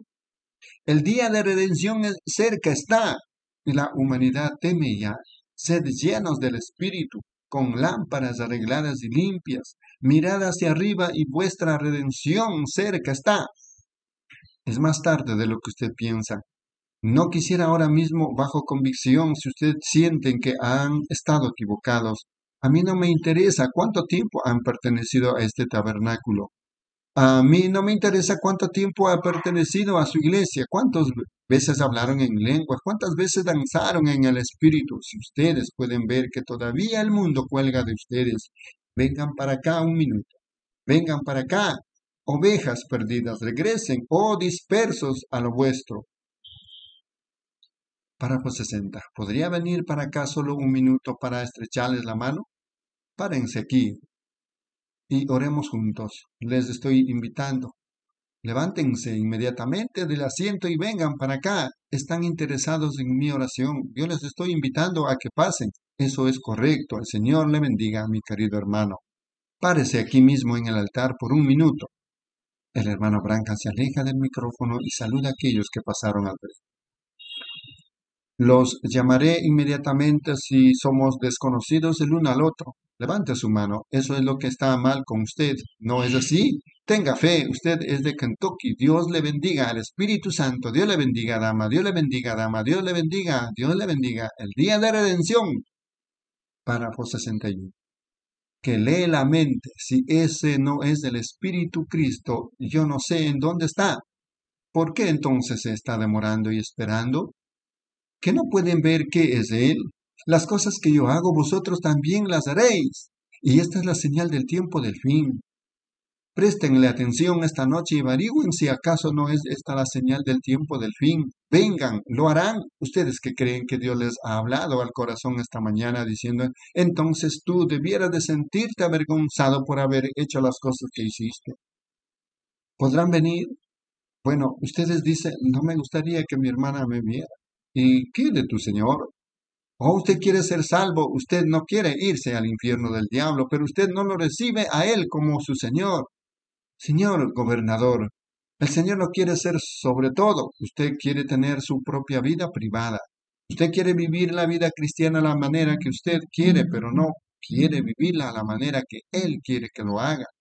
Déjelo entrar a su corazón y diga, oh, yo te dejé entrar a mi corazón, Jesús, como mi Salvador. Sí, pero nunca he dejado que tú tomes el control porque yo quiero actuar un poquito de esta u otra manera. Yo quiero ser modelo o entonces Él no es todavía su Señor. Los espíritus de Israel y Geófita todavía los tienen agarrados. El diablo seguro no vendrán a donde Cristo se está moviendo. Vean su espíritu.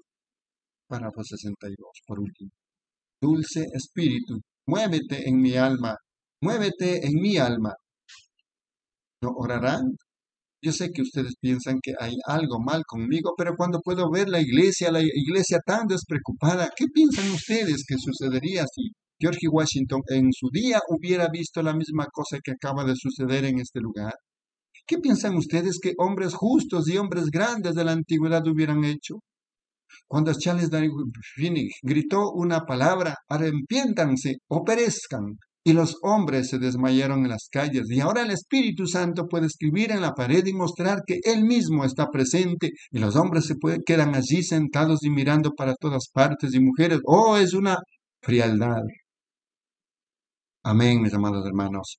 Continuamos con la lectura de este glorioso mensaje. La escritura en la pared, mensaje predicado en Jeffersonville, Indiana, Estados Unidos, día 9 de marzo del año 1958. Concluimos en los párrafos 63 al 70, hermana Reina. Amén. Dios les bendiga, mis hermanos. Para finalizar la lectura del mensaje, la escritura en la pared, párrafo 63. Pero recuerden, así como fue en los días de Noé, hubo ocho que fueron salvos. Así será en la venida del Hijo del Hombre. La invitación es, vengan, les invito para que pasen al altar con el resto de, de estos. Si usted sabe que ha hecho mal, ¿por qué no viene? Párese aquí, muestre que está dispuesto a hacer un esfuerzo. Pero si el Espíritu Santo no puede, entonces sé que yo no puedo. Así que inclinemos nuestros rostros ahora. Quiero orar por esta mujer. Ella tiene sus manos levantadas allí en el catre. Mi hermana, Jesucristo puede salvar su vida y solamente Él. ¿Cree que Él lo hará? ¿Se da cuenta de eso? Si yo soy su siervo, Él dijo en su palabra, si dijereis a este monte, muévete y no dudareis en vuestro corazón, sino creyereis que será hecho lo que decís, lo que digáis os será hecho. ¿Le servirá a él durante toda su vida? ¿Le dará el resto de sus días para su gloria?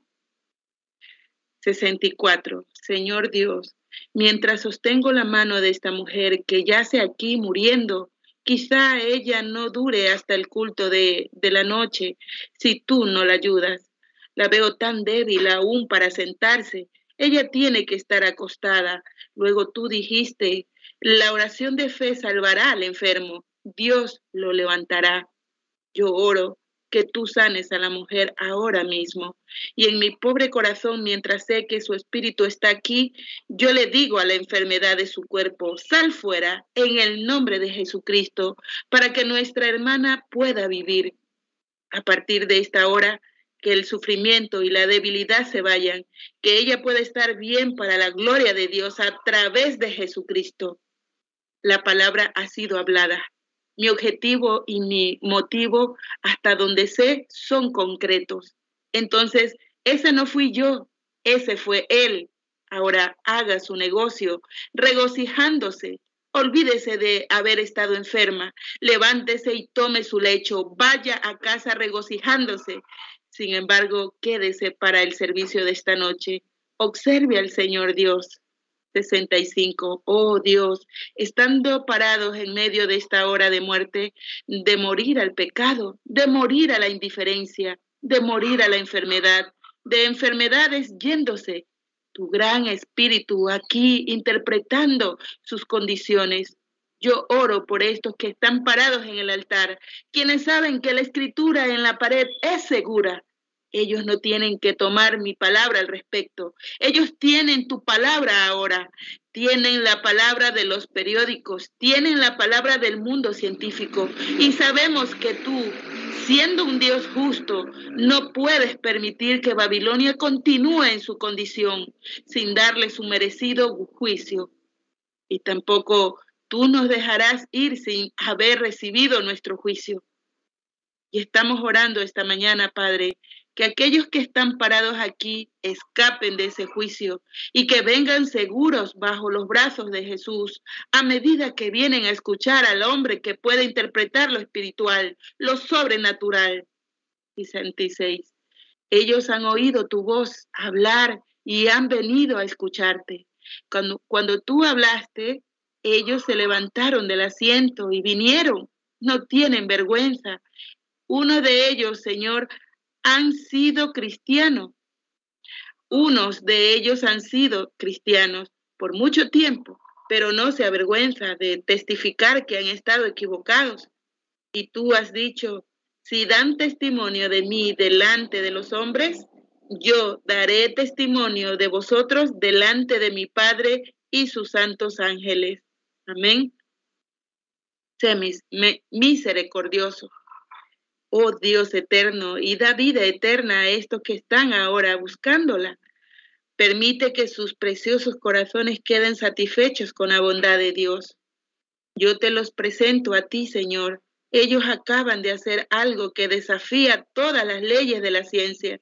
Se levantaron del asiento y caminaron hacia acá. Sus manos fueron levantadas. Eso muestra que hay un espíritu en ellos moviéndose y ese espíritu que los mueve quedó convencido por la palabra de Dios que están equivocados.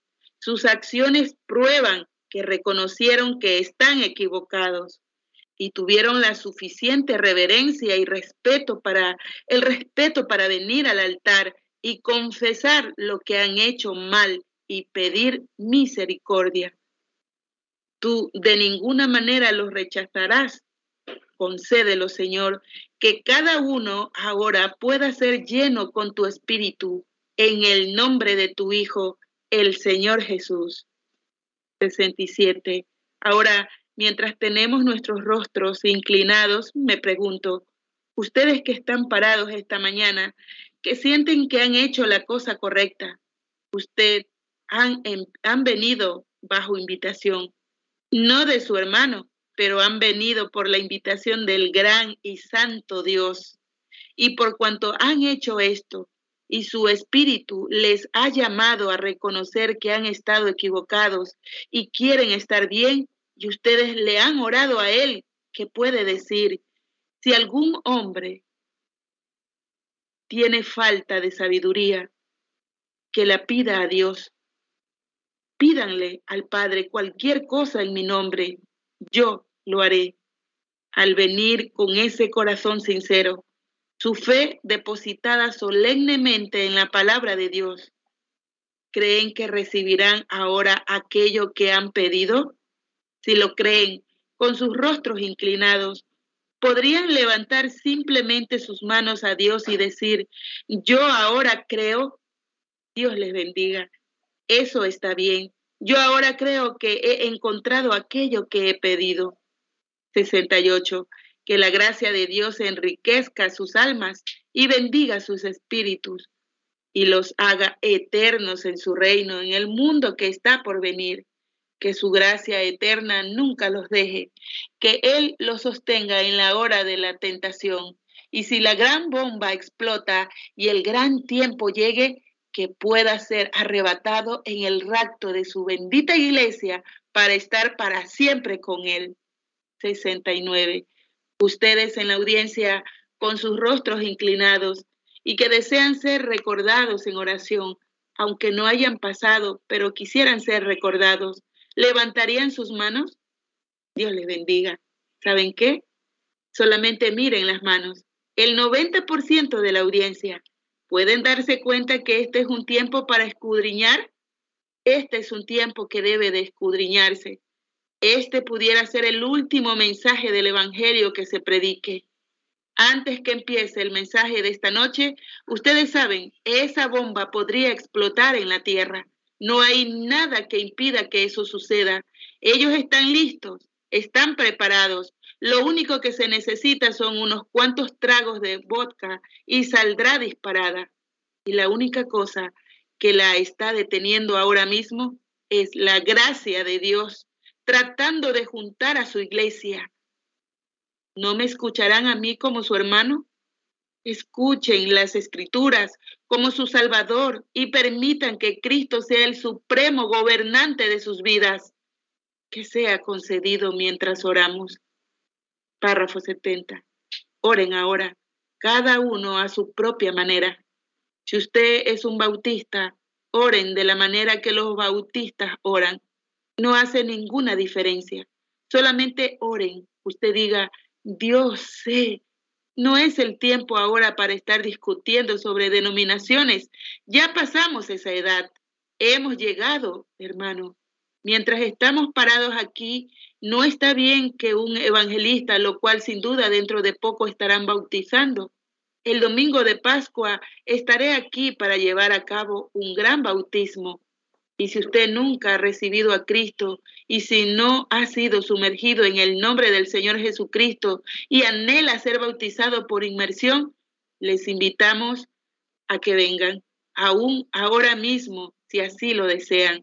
Estamos listos. El pastor de seguro tiene algo que decirles. Les voy a pedir que él haga esta oración mientras estamos esperando. Muy bien, hermano Neville. Dios le bendiga, mis hermanos. Amén, amén, hermana reina. Dios le bendiga. Qué precioso mensaje, glorioso tiempo que vivimos, mis amados hermanos. De esta manera hemos concluido con este mensaje titulado La Escritura en la Pared, mensaje predicado en Jeffersonville, Indiana, Estados Unidos, día 9 de marzo del año 1958. Que quede plasmado en cada uno de vuestros corazones y vamos de inmediato a continuar con la lectura. Nuestro siguiente tema, mensaje predicado en Jeffersonville, Indiana, Estados Unidos, en el mismo lugar, día 9 de marzo del año 1958, titulado ¿Se irá la iglesia antes de la tribulación? Oh, señores, Dios le bendiga, mis amados hermanos. Continuamos con este nuevo mensaje.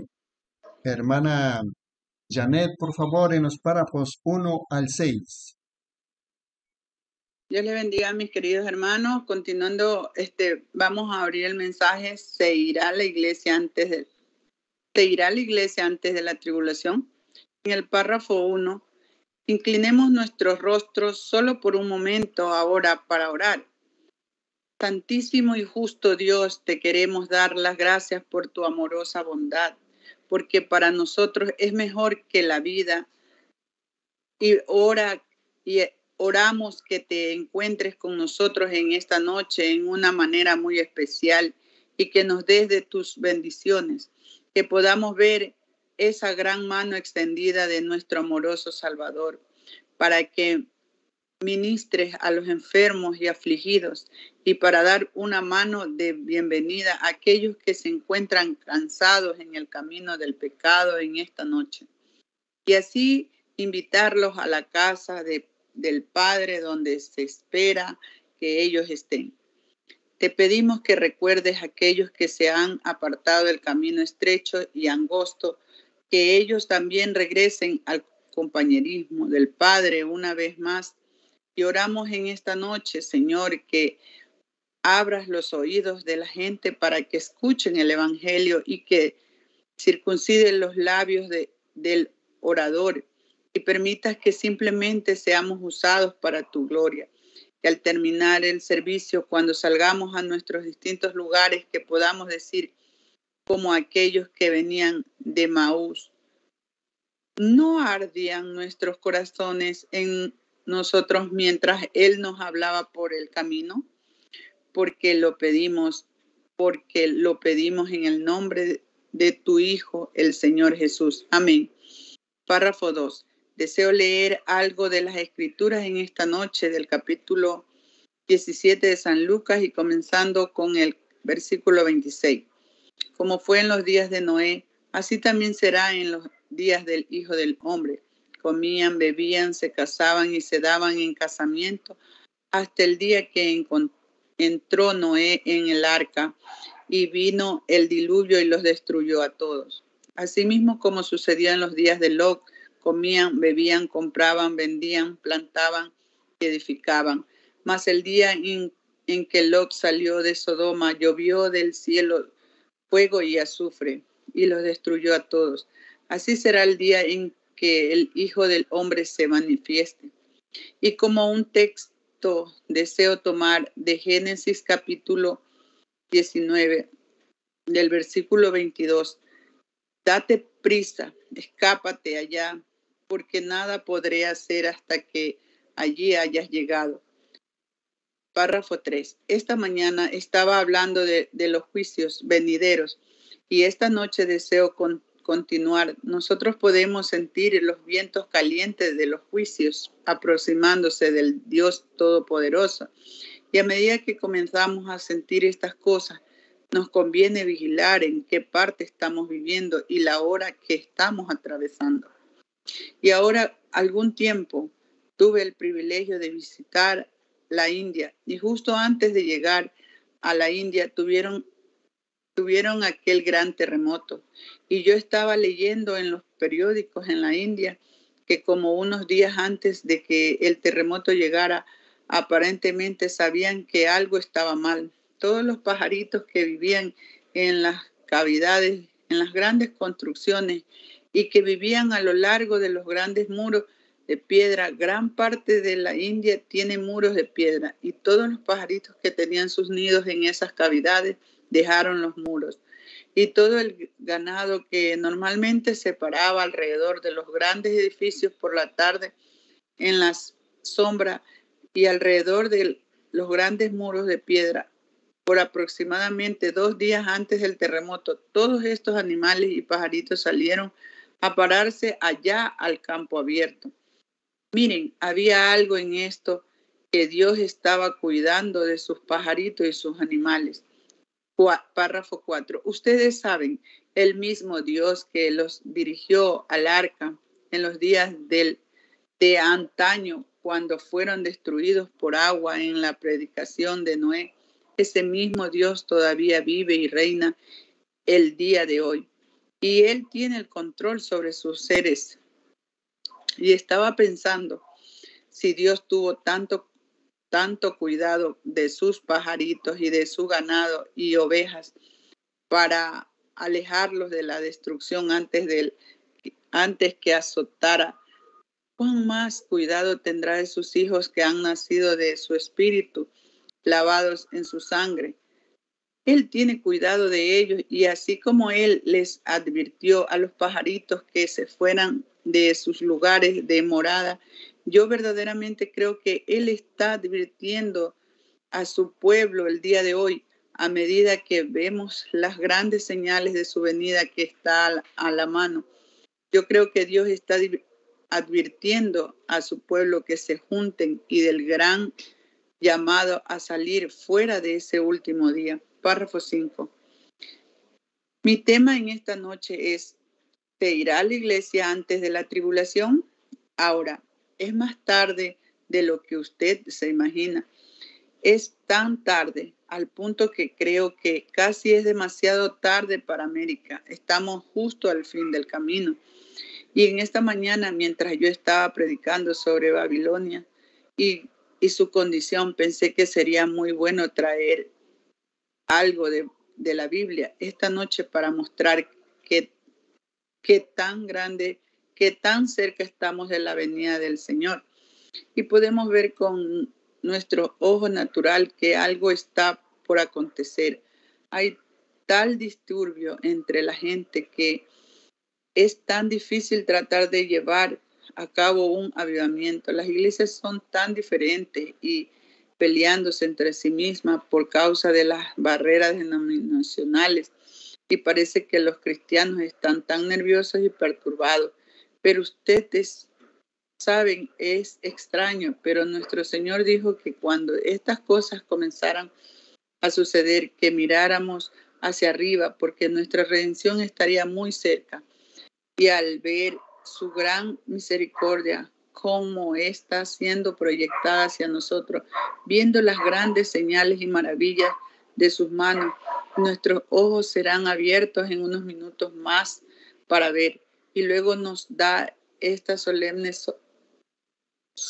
consolación de saber que el Dios de la Biblia aún vive hoy y Él ama a sus hijos y Él les, eh, les está advirtiendo. Y aquellos que son de una mente espiritual salen fuera. Párrafo 6.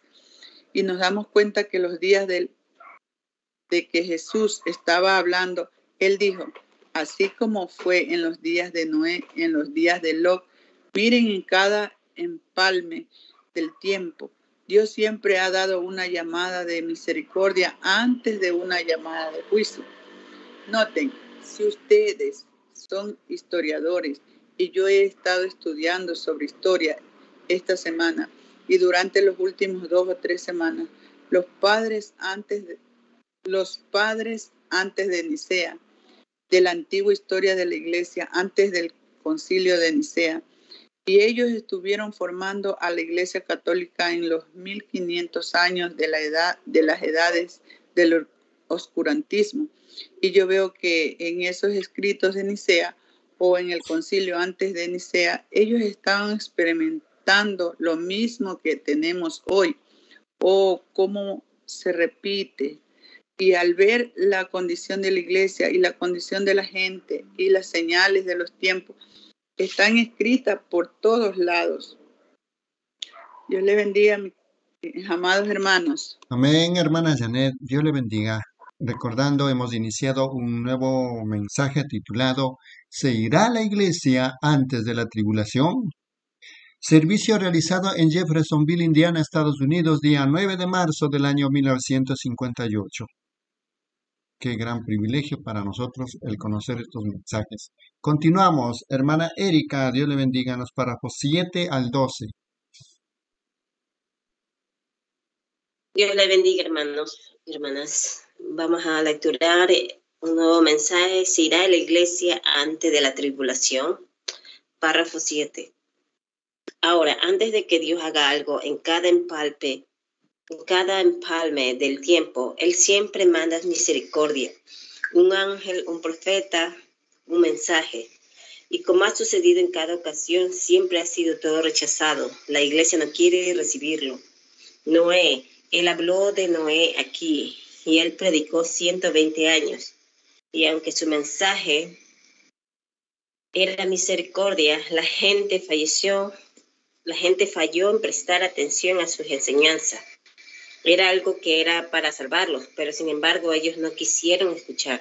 Y si ese no es un cuadro hermoso de los tiempos de hoy, mire, usted podrá decirme, hermano Branja, ¿cómo puede usted decir hermoso y pintarlo el cuadro que nos está pintando? Es hermoso porque el Señor Jesús viene pronto por su iglesia y ese es el más hermoso pensamiento que cualquier criatura de Dios pudiera pensar de salir de este caos y entrar en su bendita gloria, donde lo viejo será joven y el enfermo será sanado para siempre. No habrá más penas o aflicción. Esta es la cosa más hermosa que yo pudiera pensar. Cuán bienaventurado es para aquellos que esperan ese tiempo de reunión. Párrafo 8. Ahora hallamos que el, al referirse Jesús a los días de Noé, retrocedamos un poco porque él dijo, fíjense en el, en el ejemplo de aquel día. Ahora, cuando Caín y Abel, cuando Caín hubo matado a Abel y después Seth, tomó su lugar, hallamos que Satanás estaba tratando de destruir aquella simiente que debía venir, que Dios había prometido, que la simiente de la mujer heriría la cabeza de la simiente de la serpiente. Y Satanás estaba tratando de destruir aquella simiente real. Y él pensó que lo había logrado cuando destruyó a Abel, pero Dios levantó a C en su lugar. Un muy hermoso cuadro de la muerte y resurrección de Cristo en la simiente real que había de venir. Párrafo 9. Entonces algo sobre sorprendente al notar cómo en el lado de Caín se volvieron muy religiosos y eran una gente que iba a la iglesia y de la misma forma Caín era una persona que iba a la iglesia. Él adoraba al Señor, él construyó un altar, él pertenecía a la iglesia, él pagaba sus deudas en todo aspecto a la vista de los hombres, él era un verdadero creyente. Pero solo hay tres clases de, de gente, los que son creyentes, incrédulos y creyentes manufacturados. Y el mundo aún está lleno de, eh, de ellos en esta noche. Y Caín solo estaba manufacturado que creía y de su linaje salió un gran grupo de gente que va a la iglesia muy religiosa. Y ahora esto está muy fuera de lo normal. Pero notaron que de su lado vino la raza culta y educada la iglesia, la iglesia lo dice claramente. Él dijo, ellos estaban edificando y haciendo grandes cosas. La ciencia salió del linaje de Caín. Y los grandes científicos, los doctores y los grandes hombres salieron del linaje de Caín. Pero del otro lado era gente pobre, gente campesina, pero era gente que creía que su Dios era real. Oh Dios, cuéntame a mí con ellos. Párrafo 10. Y un poco antes de llegar el tiempo del fin, hubo una gran confusión y por el lado de la gran iglesia parecía como que había ganado. Así que, así como es el día de hoy, porque la ciencia y la otra cosa, la gran cosa, él dijo que estaban edificando. Jamás ha habido un tiempo de la historia cuando la construcción haya sido tan grande como es hoy. Es una de las señales del tiempo del fin. Nunca hemos tenido semejante tiempo de construcción y ahora aún aquí en nuestra pequeña ciudad ya no puedo encontrar suficiente espacio para ir a cazar conejos. Todo se ha convertido en proyectos de vivienda, simplemente edificando y plantando. Y si abrimos nuestros ojos, es una de las señales de Dios que el fin está a la mano. Párrafo 11.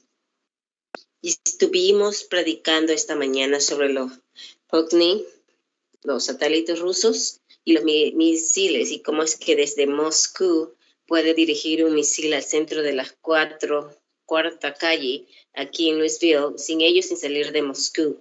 Y eso producirá un hueco en la tierra de 175 pies, entre corchetes 52 metros de profundidad, con una circunferencia de 150 millas entre corchete 242 kilómetros. Así de grande sería el hueco. Con tres destruirían el mundo entero, sacudiendo de su órbita.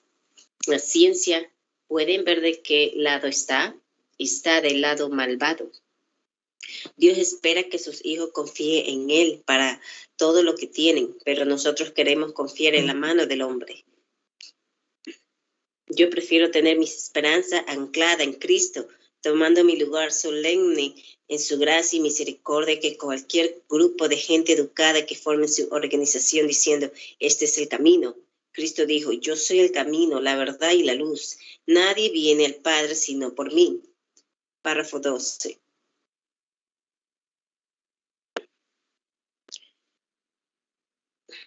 Así que pueden ver que es un gran día de educación, es un gran día de contienda, mundial y justo en medio de todo eso, ellos debieron haber tenido un mundo científico más avanzado de lo que tenemos ahora. Ellos construyeron las pirámides, no tenemos ninguna cosa para construir las pirámides. Si alguna vez están cerca, yo he estado allí, en Egipto y en, los, en las de México, y a la altura de lo que serían cuadras, están, estas están piedras gigantescas que pesarían cientos de toneladas instaladas en lo más alto de esta tremenda construcción. Y están tan perfectamente talladas que ni siquiera hay espacio para una hoja de afeitar. Fueron labradas con tal perfección, o que día de ciencia, y también está colocada tan perfectamente en el centro de, de la tierra, que no importa dónde esté el sol, nunca hay sombra a su alrededor. Dudo que lo pudiéramos igualar hoy con nuestra ciencia moderna. Pero Jesús dijo, así como fue en ese día, así será en la venida del Hijo de Dios. Dios le bendiga, hermanos. Amén, amén, hermana Erika. Dios le bendiga. La lectura continuamos con este glorioso mensaje titulado ¿Se irá a la iglesia antes de la tribulación? Mensaje predicado en Jeffersonville, Indiana, Estados Unidos, día 9 de marzo del año 1958. Para continuar, hermana Rosalia, por favor, en los párrafos 13 al 18. Amén, hermanos. Continuando con el mensaje, se irá a la iglesia antes de la tribulación, párrafo 13. Miren, Noé predicó 120 años y fíjense, se rieron de él. Ahora, Jesús también dijo que como fue en los días de Lot, así sería. En los días de Lot estaban comiendo, bebiendo, casándose y dándose en casamiento, plantando, edificando, vendiendo, comprando jamás ha habido un día en que hubiera tanto comercio como hoy, con lotes de carros usados en venta y de todo, al punto que uno puede comprar un refrigerador en este año y pagar 400 o 500 dólares. Y el próximo año nadie lo quiere, ya está fuera de moda. No pueden ver cómo el mundo comercial les tiene la nariz pegada a la piedra de afilar. Usted puede comprar un carro este año, y el siguiente año es muy probable que esté tan bueno como el que se pudiera comprar entonces, pero se habrá devaluado mil dólares porque le cambiaron la tapa del radiador o porque le han modificado cualquier cosita insignificante. Es pura publicidad para dar cumplimiento a la Biblia, así como fue en los días de Noé y en los días de Lot. Párrafo 14. No obstante, en cada ocasión aparecieron ángeles se levantaron profetas y sus mensajes siempre han sido gracia, misericordia y liberación. El mensaje de Dios siempre ha sido liberación, justamente antes del tiempo del fin. Revíselo a través de las escrituras, como fue que Noé predicó liberación y aquellos se rieron de ellos y se burlaron de ellos y se mofaron. Que así como fue en aquellos días, es igual hoy. Y cuando uno sale con un mensaje, que Cristo ha resucitado de entre los muertos, así como Él prometió que Él mismo se mostraría. Y los de hoy hacen con ese mensaje igual como aquellos hicieron con el mensaje de aquel día. Lot fue a los de Sodoma e hizo lo mejor que pudo para que sus parientes escucharan el mensaje del ángel. Pero ellos se burlaron de él y dijeron que él estaba bromeando. Oh, qué cuadro de este día presente cuando uno les trae el mensaje de liberación de Dios. Ellos dicen, usted está haciendo burla de la religión, usted está tratando de personificar algo, son de la misma clase de gente. ¿Qué hora en la que estamos viviendo? Pues ellos piensan que son los únicos que van a salvar. Ellos creen que son los únicos que están predicando el Evangelio. Jesús dijo, estas señales seguirán a los que creen. No es mi palabra, es su palabra. Párrafo 15. Y fíjense, quiero que noten rápidamente el tipo de mensaje que era. Oh, esto emociona mi corazón. Cuando pienso en Sodoma y Gomorra, que habían llegado a tal grado de contaminación moralmente, al punto que había pervertidos por todos lados. Pero justo antes de la gran destrucción final, Dios les mandó un profeta al lugar y estoy pensando que Él también les mandó un ángel. Y quiero que se fijen en el mensaje del ángel. Abraham, el cual había escogido el camino por los pocos despreciados del Señor, salió al desierto donde las tierras eran muy pobres. Y Lot fue allá y se volvió alcalde de la ciudad. Fue un gran hombre entre el pecado. Yo preferiría no ser tan popular y a la vez estar correcto con Dios.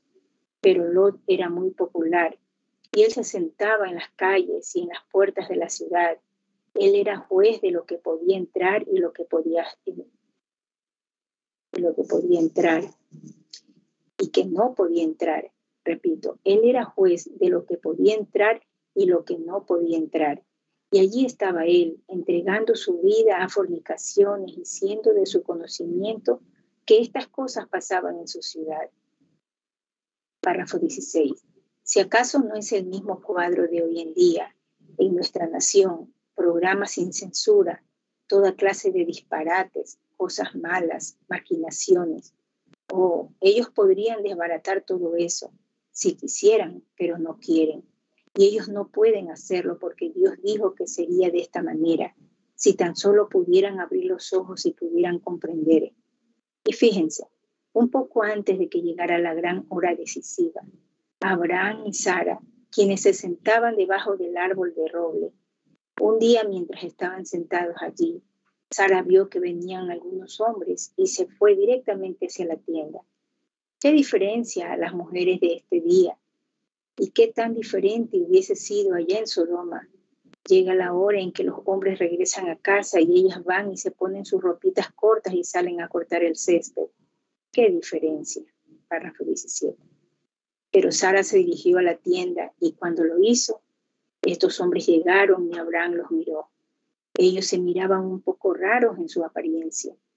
Uno de ellos parecía ser el vocero.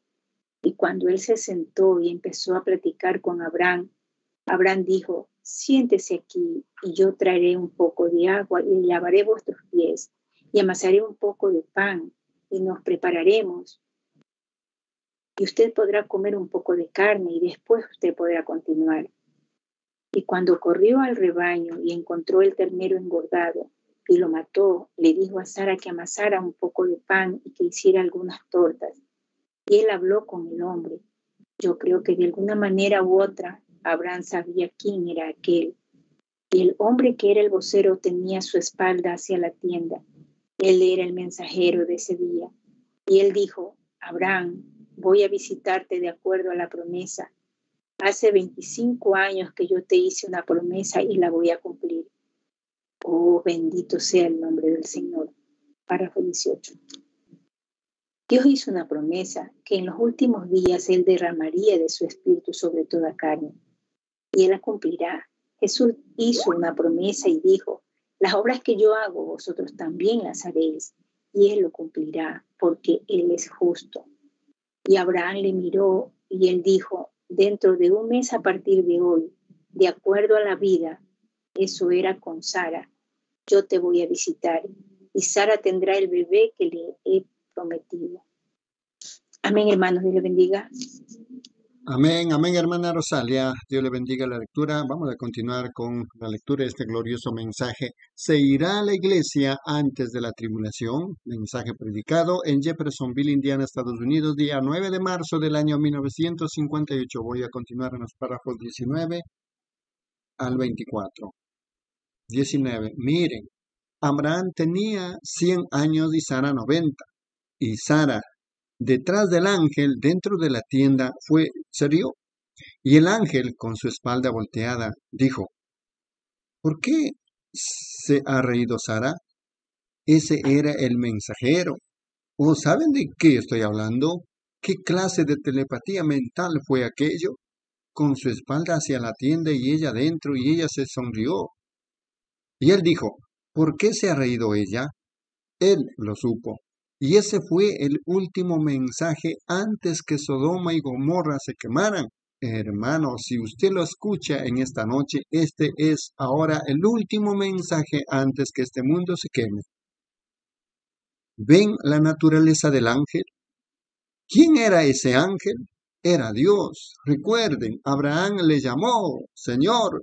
Y la traducción de ese es Elohim, el gran y poderoso Jehová era Jesucristo reencarnado. Párrafo 20. Alguien dijo, ¿usted quiere decir que ese era... ¿Cómo obtuvo él ese cuerpo? Pues él simplemente llamó a esos dos ángeles y sopló un pequeño soplo de esta manera, y los átomos calcio y potasio se unieron, y Gabriel se metió en uno y otro ángel en el otro, y, y creó uno para él mismo. Bendito sea su santo nombre. Estoy feliz esta noche de saber que el mismo Dios Todopoderoso que pudo hacer para sí mismo un cuerpo en que vivir y mi confianza está en Él, que algún día Él resucitará este cuerpo, así como Él prometió que lo hará. Y Él está en nuestros medios, haciendo lo mismo que hizo allá. Oh, alabado sea su glorioso nombre, advirtiéndonos, hablándonos, diciéndonos que nos preparemos. Por supuesto, Él dijo, un poquito y el mundo no me verá más, pero vosotros me veréis, porque yo estaré con vosotros, aún en vosotros, hasta el fin del mundo. ¡Qué hora en la que estamos viviendo! Párrafo 21. Noten, el ángel que trajo el fuego fue a aquel que obró ese milagro. Y todos sabemos que el mundo será destruido la próxima vez por fuego. Y el ángel que fue enviado a Sodoma y Gomorra, observen lo que dijo Jesús. Oh, me emociona tanto el alma al llegar a esto. Así como fue en los días de Noé, así será en la venida del Hijo del Hombre. ¿Qué hizo ese ángel? Él tenía el espíritu de discernimiento y él dijo, así como fue entonces, así también será cuando el Hijo del Hombre esté siendo revelado del cielo. ¿Lo pueden ver? Solo piensen que en nuestros medios ahora mismo está el mismo ángel de Dios, el cual es ningún otro que el Señor Jesucristo en forma del Espíritu Santo. Está en nuestros medios en aquel día y Él era Dios y ese era su mensaje un poco antes de que llegara la destrucción. Párrafo 22. Ahora, nos damos cuenta que fue un mensaje de liberación.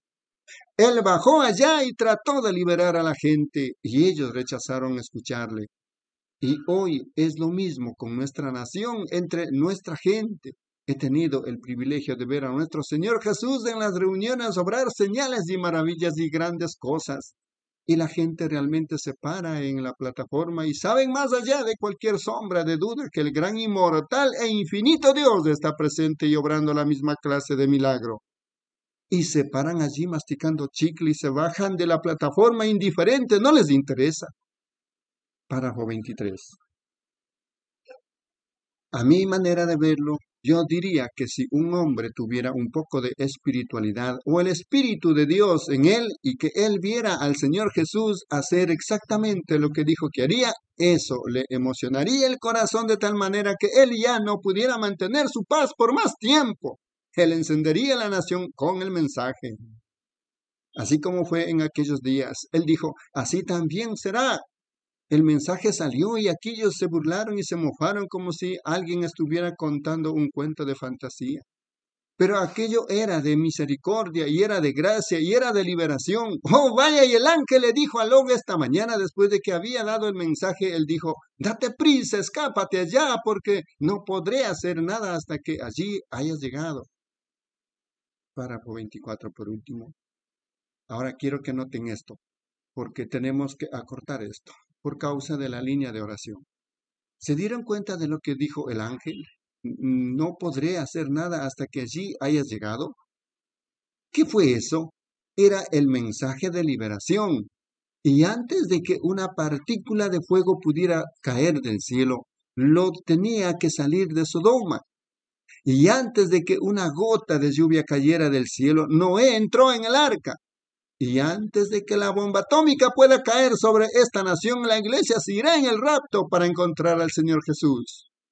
Y si los Punix y los misiles están listos y los gatillos están en posición, los ángeles están todos parados en orden, aleluya. Los grandes corredores del cielo se encuentran completamente llenos. Todas las arpas se encuentran afinadas. Las grandes bandas ya ensayaron. El tiempo para regresar al hogar viene ya muy pronto para la iglesia del Dios viviente que ha estado esperando su venida. Todo está en orden. Estoy tan feliz. Me estoy poniendo tan cansado. ¡Oh, esa gran hora! Y pensar que nosotros hemos tenido una parte en este empalme de tiempo. Recuerden, así será en la venida del Hijo del Hombre, cuando el Hijo del Hombre sea revelado desde el cielo. Ahora recuerden, antes de caer la lluvia, Noé estaba en el arca. Antes que cayera el fuego, Lot estaba fuera de Sodoma. Porque el ángel dijo, no podré hacer nada hasta que allí hayas llegado. Tengo la palanca en mi mano para jalar y hacer que los fuegos caigan del cielo. Y pienso que así es exactamente. El ángel de destrucción está deteniendo la mano de Rusia con las bombas atómicas hasta que la iglesia se junte como un gran cuerpo de Cristo. No podré hacer hasta nada hasta que allí haya llegado. Oh, si esa es no una bendita seguridad. Y si vemos todo colocado en orden, el arrebatamiento de la iglesia está en orden. Aquí está el ángel de Dios con el mismo mensaje, obrando las mismas señales, las mismas maravillas, todo puesto en orden. Amén, aleluya. Continuamos con este mensaje titulado ¿Se irá la iglesia antes de la tribulación? Mensaje predicado en Jeffersonville, Indiana, Estados Unidos, día 9 de marzo del año 1958. Continuamos, hermana Reina, en los párrafos 25 al 29. Amén. Dios le bendiga a mis hermanos. Continuando con la lectura del mensaje, ¿se irá la iglesia antes de la tribulación? Predicado el 9 de marzo del año 1958, párrafo 25. Tabernáculo, Braham. Hace 25 años, más o menos, yo hablé desde este mismo púlpito y les dije que un día estas cosas ocurrirían. Y aquí está. Estamos en el tiempo del fin. El empalme está aquí. Ya casi es el tiempo para que la iglesia se vaya al hogar. Los críticos, ellos se burlan, hacen mofa, escarnecen, así como fue allá con el rey Nabucodonosor. Y Belsasar. Así también fue en los días de Noé. También fue así en los días de Lot. Y están haciendo lo mismo hoy. No podré hacer nada hasta que allí hayas llegado. Quiero que se fijen. Lot salió de algo que lo hubiera destruido. Y Noé entró en algo que lo salvaría. Y ese es el tipo de la iglesia. Nosotros salimos del mundo, y nos alejamos de esta edad de Elvis Presley y Arthur Godfrey, en la que vivimos. Salgan del mundo y entren en Cristo. Salgan del mundo. Los que son del mundo morirán con el mundo. Aquellos que están en Cristo se irán al hogar con Cristo. Porque aquellos que duermen en Cristo, Dios traerá con Él cuando Él venga. Nosotros salimos del mundo para entrar a la seguridad con Cristo. 26. Oh, pero nada podré hacer hasta que allí hayas llegado. Me gusta eso. Date prisa. Escápate allá. El mensaje era urgente.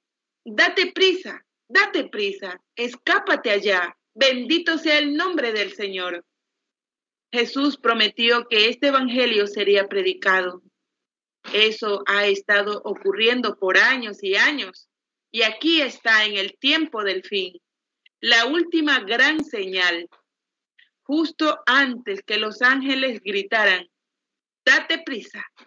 Él se dio la vuelta y dijo, ¿por qué se ha reído Sara? El ángel de destrucción, él dijo, he oído de sus pecados y he descendido para ver si eso es verdad o no y él encontró que era la verdad.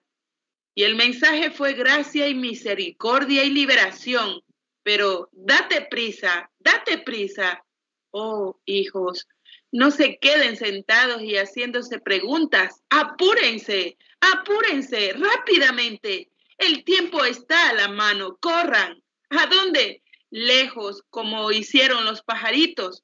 Aléjense de esos grandes muros modernos de Babilonia estas antiguas denominaciones que dicen no hay diferencia en los tiempos.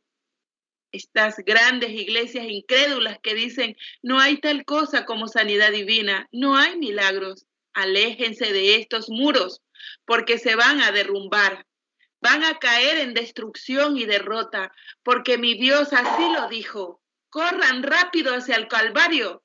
Si los pájaros huyeron a los árboles, ustedes también huyan al árbol ese madero donde Cristo fue crucificado. Allí dependa de su misericordia y clame a Dios hasta que la tormenta haya pasado. Desen prisa, escapen, vayan allí, porque no puedo hacer nada hasta que salgan afuera. Él los está esperando. Amén. 27. Aléjense de estas cosas modernas. Apártese de esa televisión cuando pasen esa clase de comedias. Apaguen esa radio cuando comience el rock and roll. Actúe como una dama. Vístase como una dama. Actúe como un hombre. Vístase como un hombre. Hable como un cristiano. Viva como un cristiano. Queme todos los puentes. Desen prisa. Salgan. La destrucción está a la mano. Dios está enfadado y cansado. Oh, es más tarde de lo que se imaginan la hora está a la mano. La misericordia del ángel, el ángel de misericordia, quien envió su mensaje, está aquí mismo esta noche. ¿Lo creen ustedes? ¿Se tendrá que ir la iglesia antes del periodo de la tribulación? Amén. Mire, Israel entró a Gosén y Egipto entró en tinieblas. Egipto entró en Gosén y fue llevado a la tierra prometida.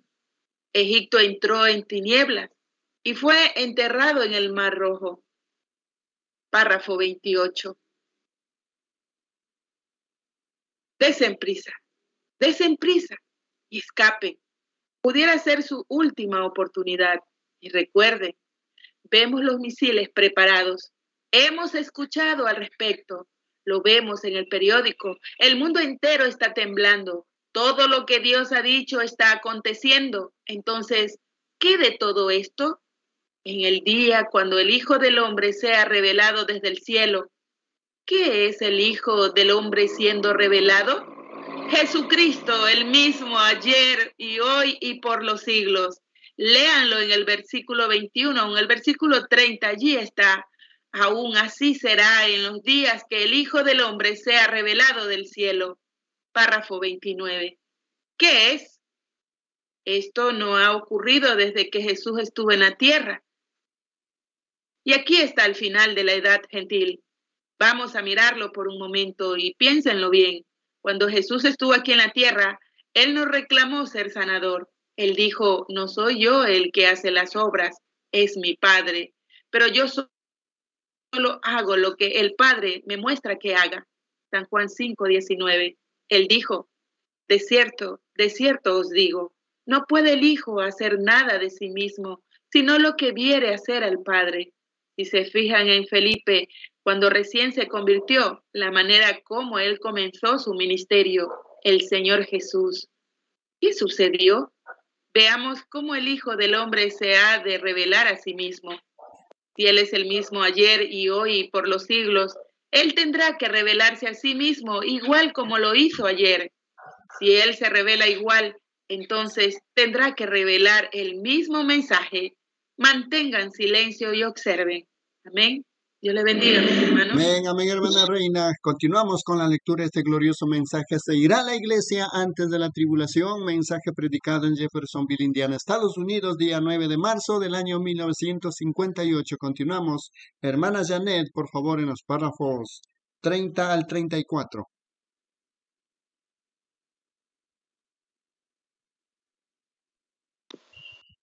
Siguiendo, continuando con el mensaje, párrafo 30. Cuando Pedro vino a él después de haber ministrado en San Juan 1, Pedro llegó ante él, pero entonces no era llamado Pedro, tenía otro nombre. Y cuando llegó allí, él le, le dijo, tú eres Simón y tu padre es Jonás. Aquel viejo pescador pensó, ¿cómo es que me conoce?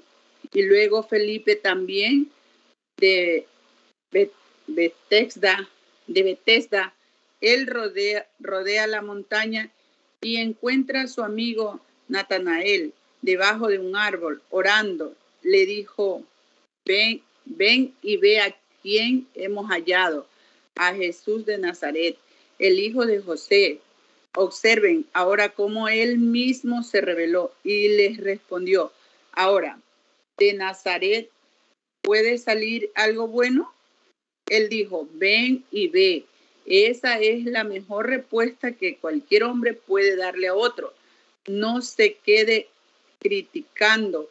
Venga y averígüelo por usted mismo. O si solo pudiéramos ser así de sinceros hoy, y en el camino de regreso empezó a instruirle, pues le dijo, Pedro, ayer un hombre, Tefas, ¿te recuerdas de ese viejo pescador? Sí, él se presentó delante de este hombre y él le dijo, ¿quién era e-? y quién era su padre? Ah, dijo Natanael, yo sé de eso. Párrafo 31. Y cuando él llegó a donde estaba Jesús, a la línea donde él estaba orando por, su, por los enfermos, Jesús enfocó esos ojos en él y le dijo, he aquí un israelita en quien no hay engaño. ¿Cómo supo él que era un israelita? Los griegos y todos los demás se vestían igual y se miraban igual. ¿Cómo supo él que este era un israelita? Porque era Dios manifestado en carne. ¿Qué hizo? Lo miró y lo vio. Él le preguntó, ¿cuándo me, con, ¿cuándo me conociste, Rabí? Él le respondió, antes, de, antes que Felipe te llamara, cuando estabas debajo del árbol, yo te vi. Él dijo, eso lo concluye tú eres el Hijo de Dios, tú eres el Rey de Israel. Jesús dijo, ¿crees porque te he dicho esto? Dijo, entonces podrás ver mayores cosas que estas. Pero el miembro, el miembro incrédulo de la iglesia se quedó a un lado y, oh, oh tan reverente y acerrimos como lo podían ser Ciertamente allí estaban parados con gran educación y grandes experiencias teológicas de seminario. Dijeron, este hombre es un adivino, él es Belcebú. Jesús dijo, ustedes me lo dicen a mí y yo les perdonaré, pero cuando venga el Espíritu Santo y haga las mismas cosas, una sola palabra en contra de eso jamás será perdonado ni en este mundo ni en el mundo venidero. Párrafo 32. Había una mujercita que tenía flujo de sangre y ella se abrió camino por toda la multitud y tocó su vestidura, porque ella había, ella había dicho en sí misma, si, si puedo tocar al hombre, yo seré sana.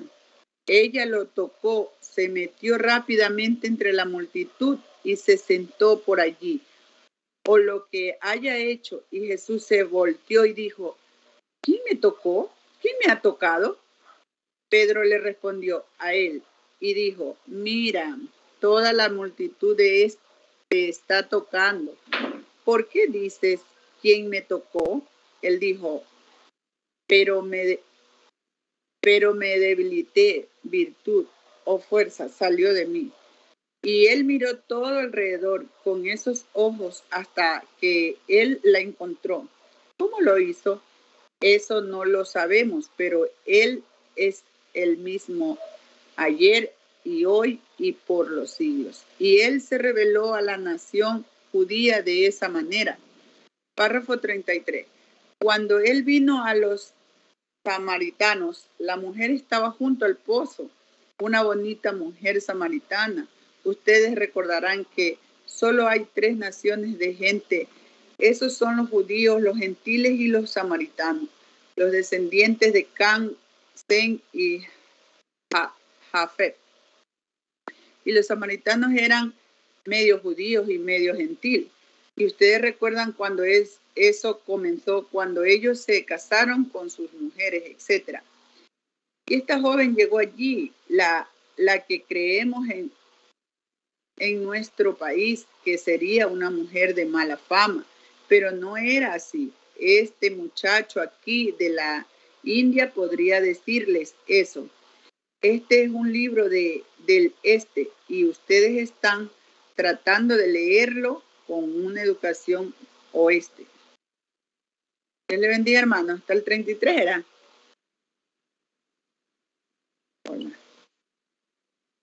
Ya, listo. Párrafo 34. Cuando yo fui a la India y bajé del avión en Bombay, allí estaba el obispo de la iglesia metodista y todos los demás que estaban parados allí. Dijeron, no nos digas que usted es un misionero, señor Branham. Nosotros sabemos más de la Biblia que lo que ustedes, yanquis, jamás podrán conocer. Y esa es la verdad.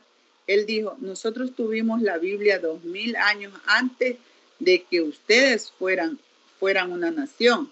Eso es correcto. La iglesia de Santo Tomás está, está allí todavía, a donde Santo Tomás fue y predicó. Pero dijo él, entendemos que Dios le ha visitado a usted para hacer que esta Biblia viva nuevamente. Dijo, eso es lo que deseamos saber. Eso es, el mundo tiene hambre del pan de vida.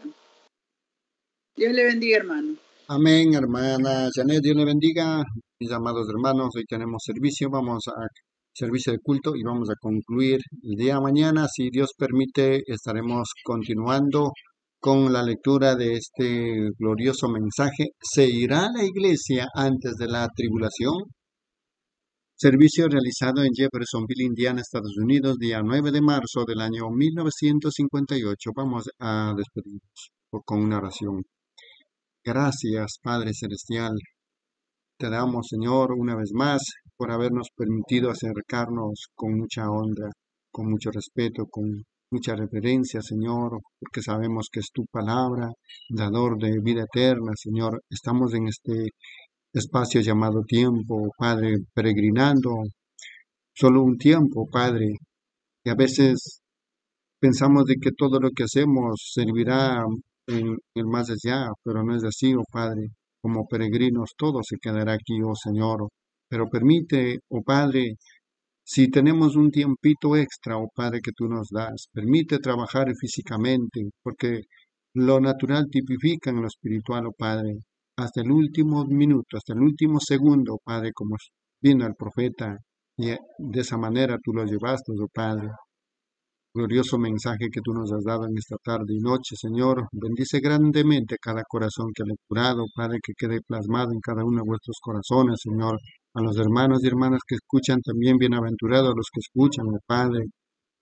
Tú dijiste en Primera de Juan 1.7, pero si andamos en luz, como Él está en luz, tenemos comunión unos con otros. Y la sangre de Jesucristo, su Hijo, nos limpia de todo pecado. Entonces tu palabra que nos limpia, que nos da luz, que nos da vida eterna, oh Padre al despedirnos, al despedirnos, oh Padre amado, los hermanos y hermanas, te decimos muchas gracias, Padre, por este gran privilegio que tú nos has dado, Señor, al lecturar estos mensajes que tú nos has enviado en este, en este tiempo, Padre. Bendice grandemente al alma, corazón que ha, ha lecturado, Señor, y bendice grandemente también. Más adelante tenemos un servicio, Señor, que sea glorificado a tu santo nombre, que todos los que lleven esa unción, oh Padre amado, lo pongamos para que tu nombre sea glorificado, Padre. Te lo pedimos, Señor, en el nombre del Señor Jesucristo. Amén, mis amados hermanos, que el Señor Jesucristo los bendiga ricamente.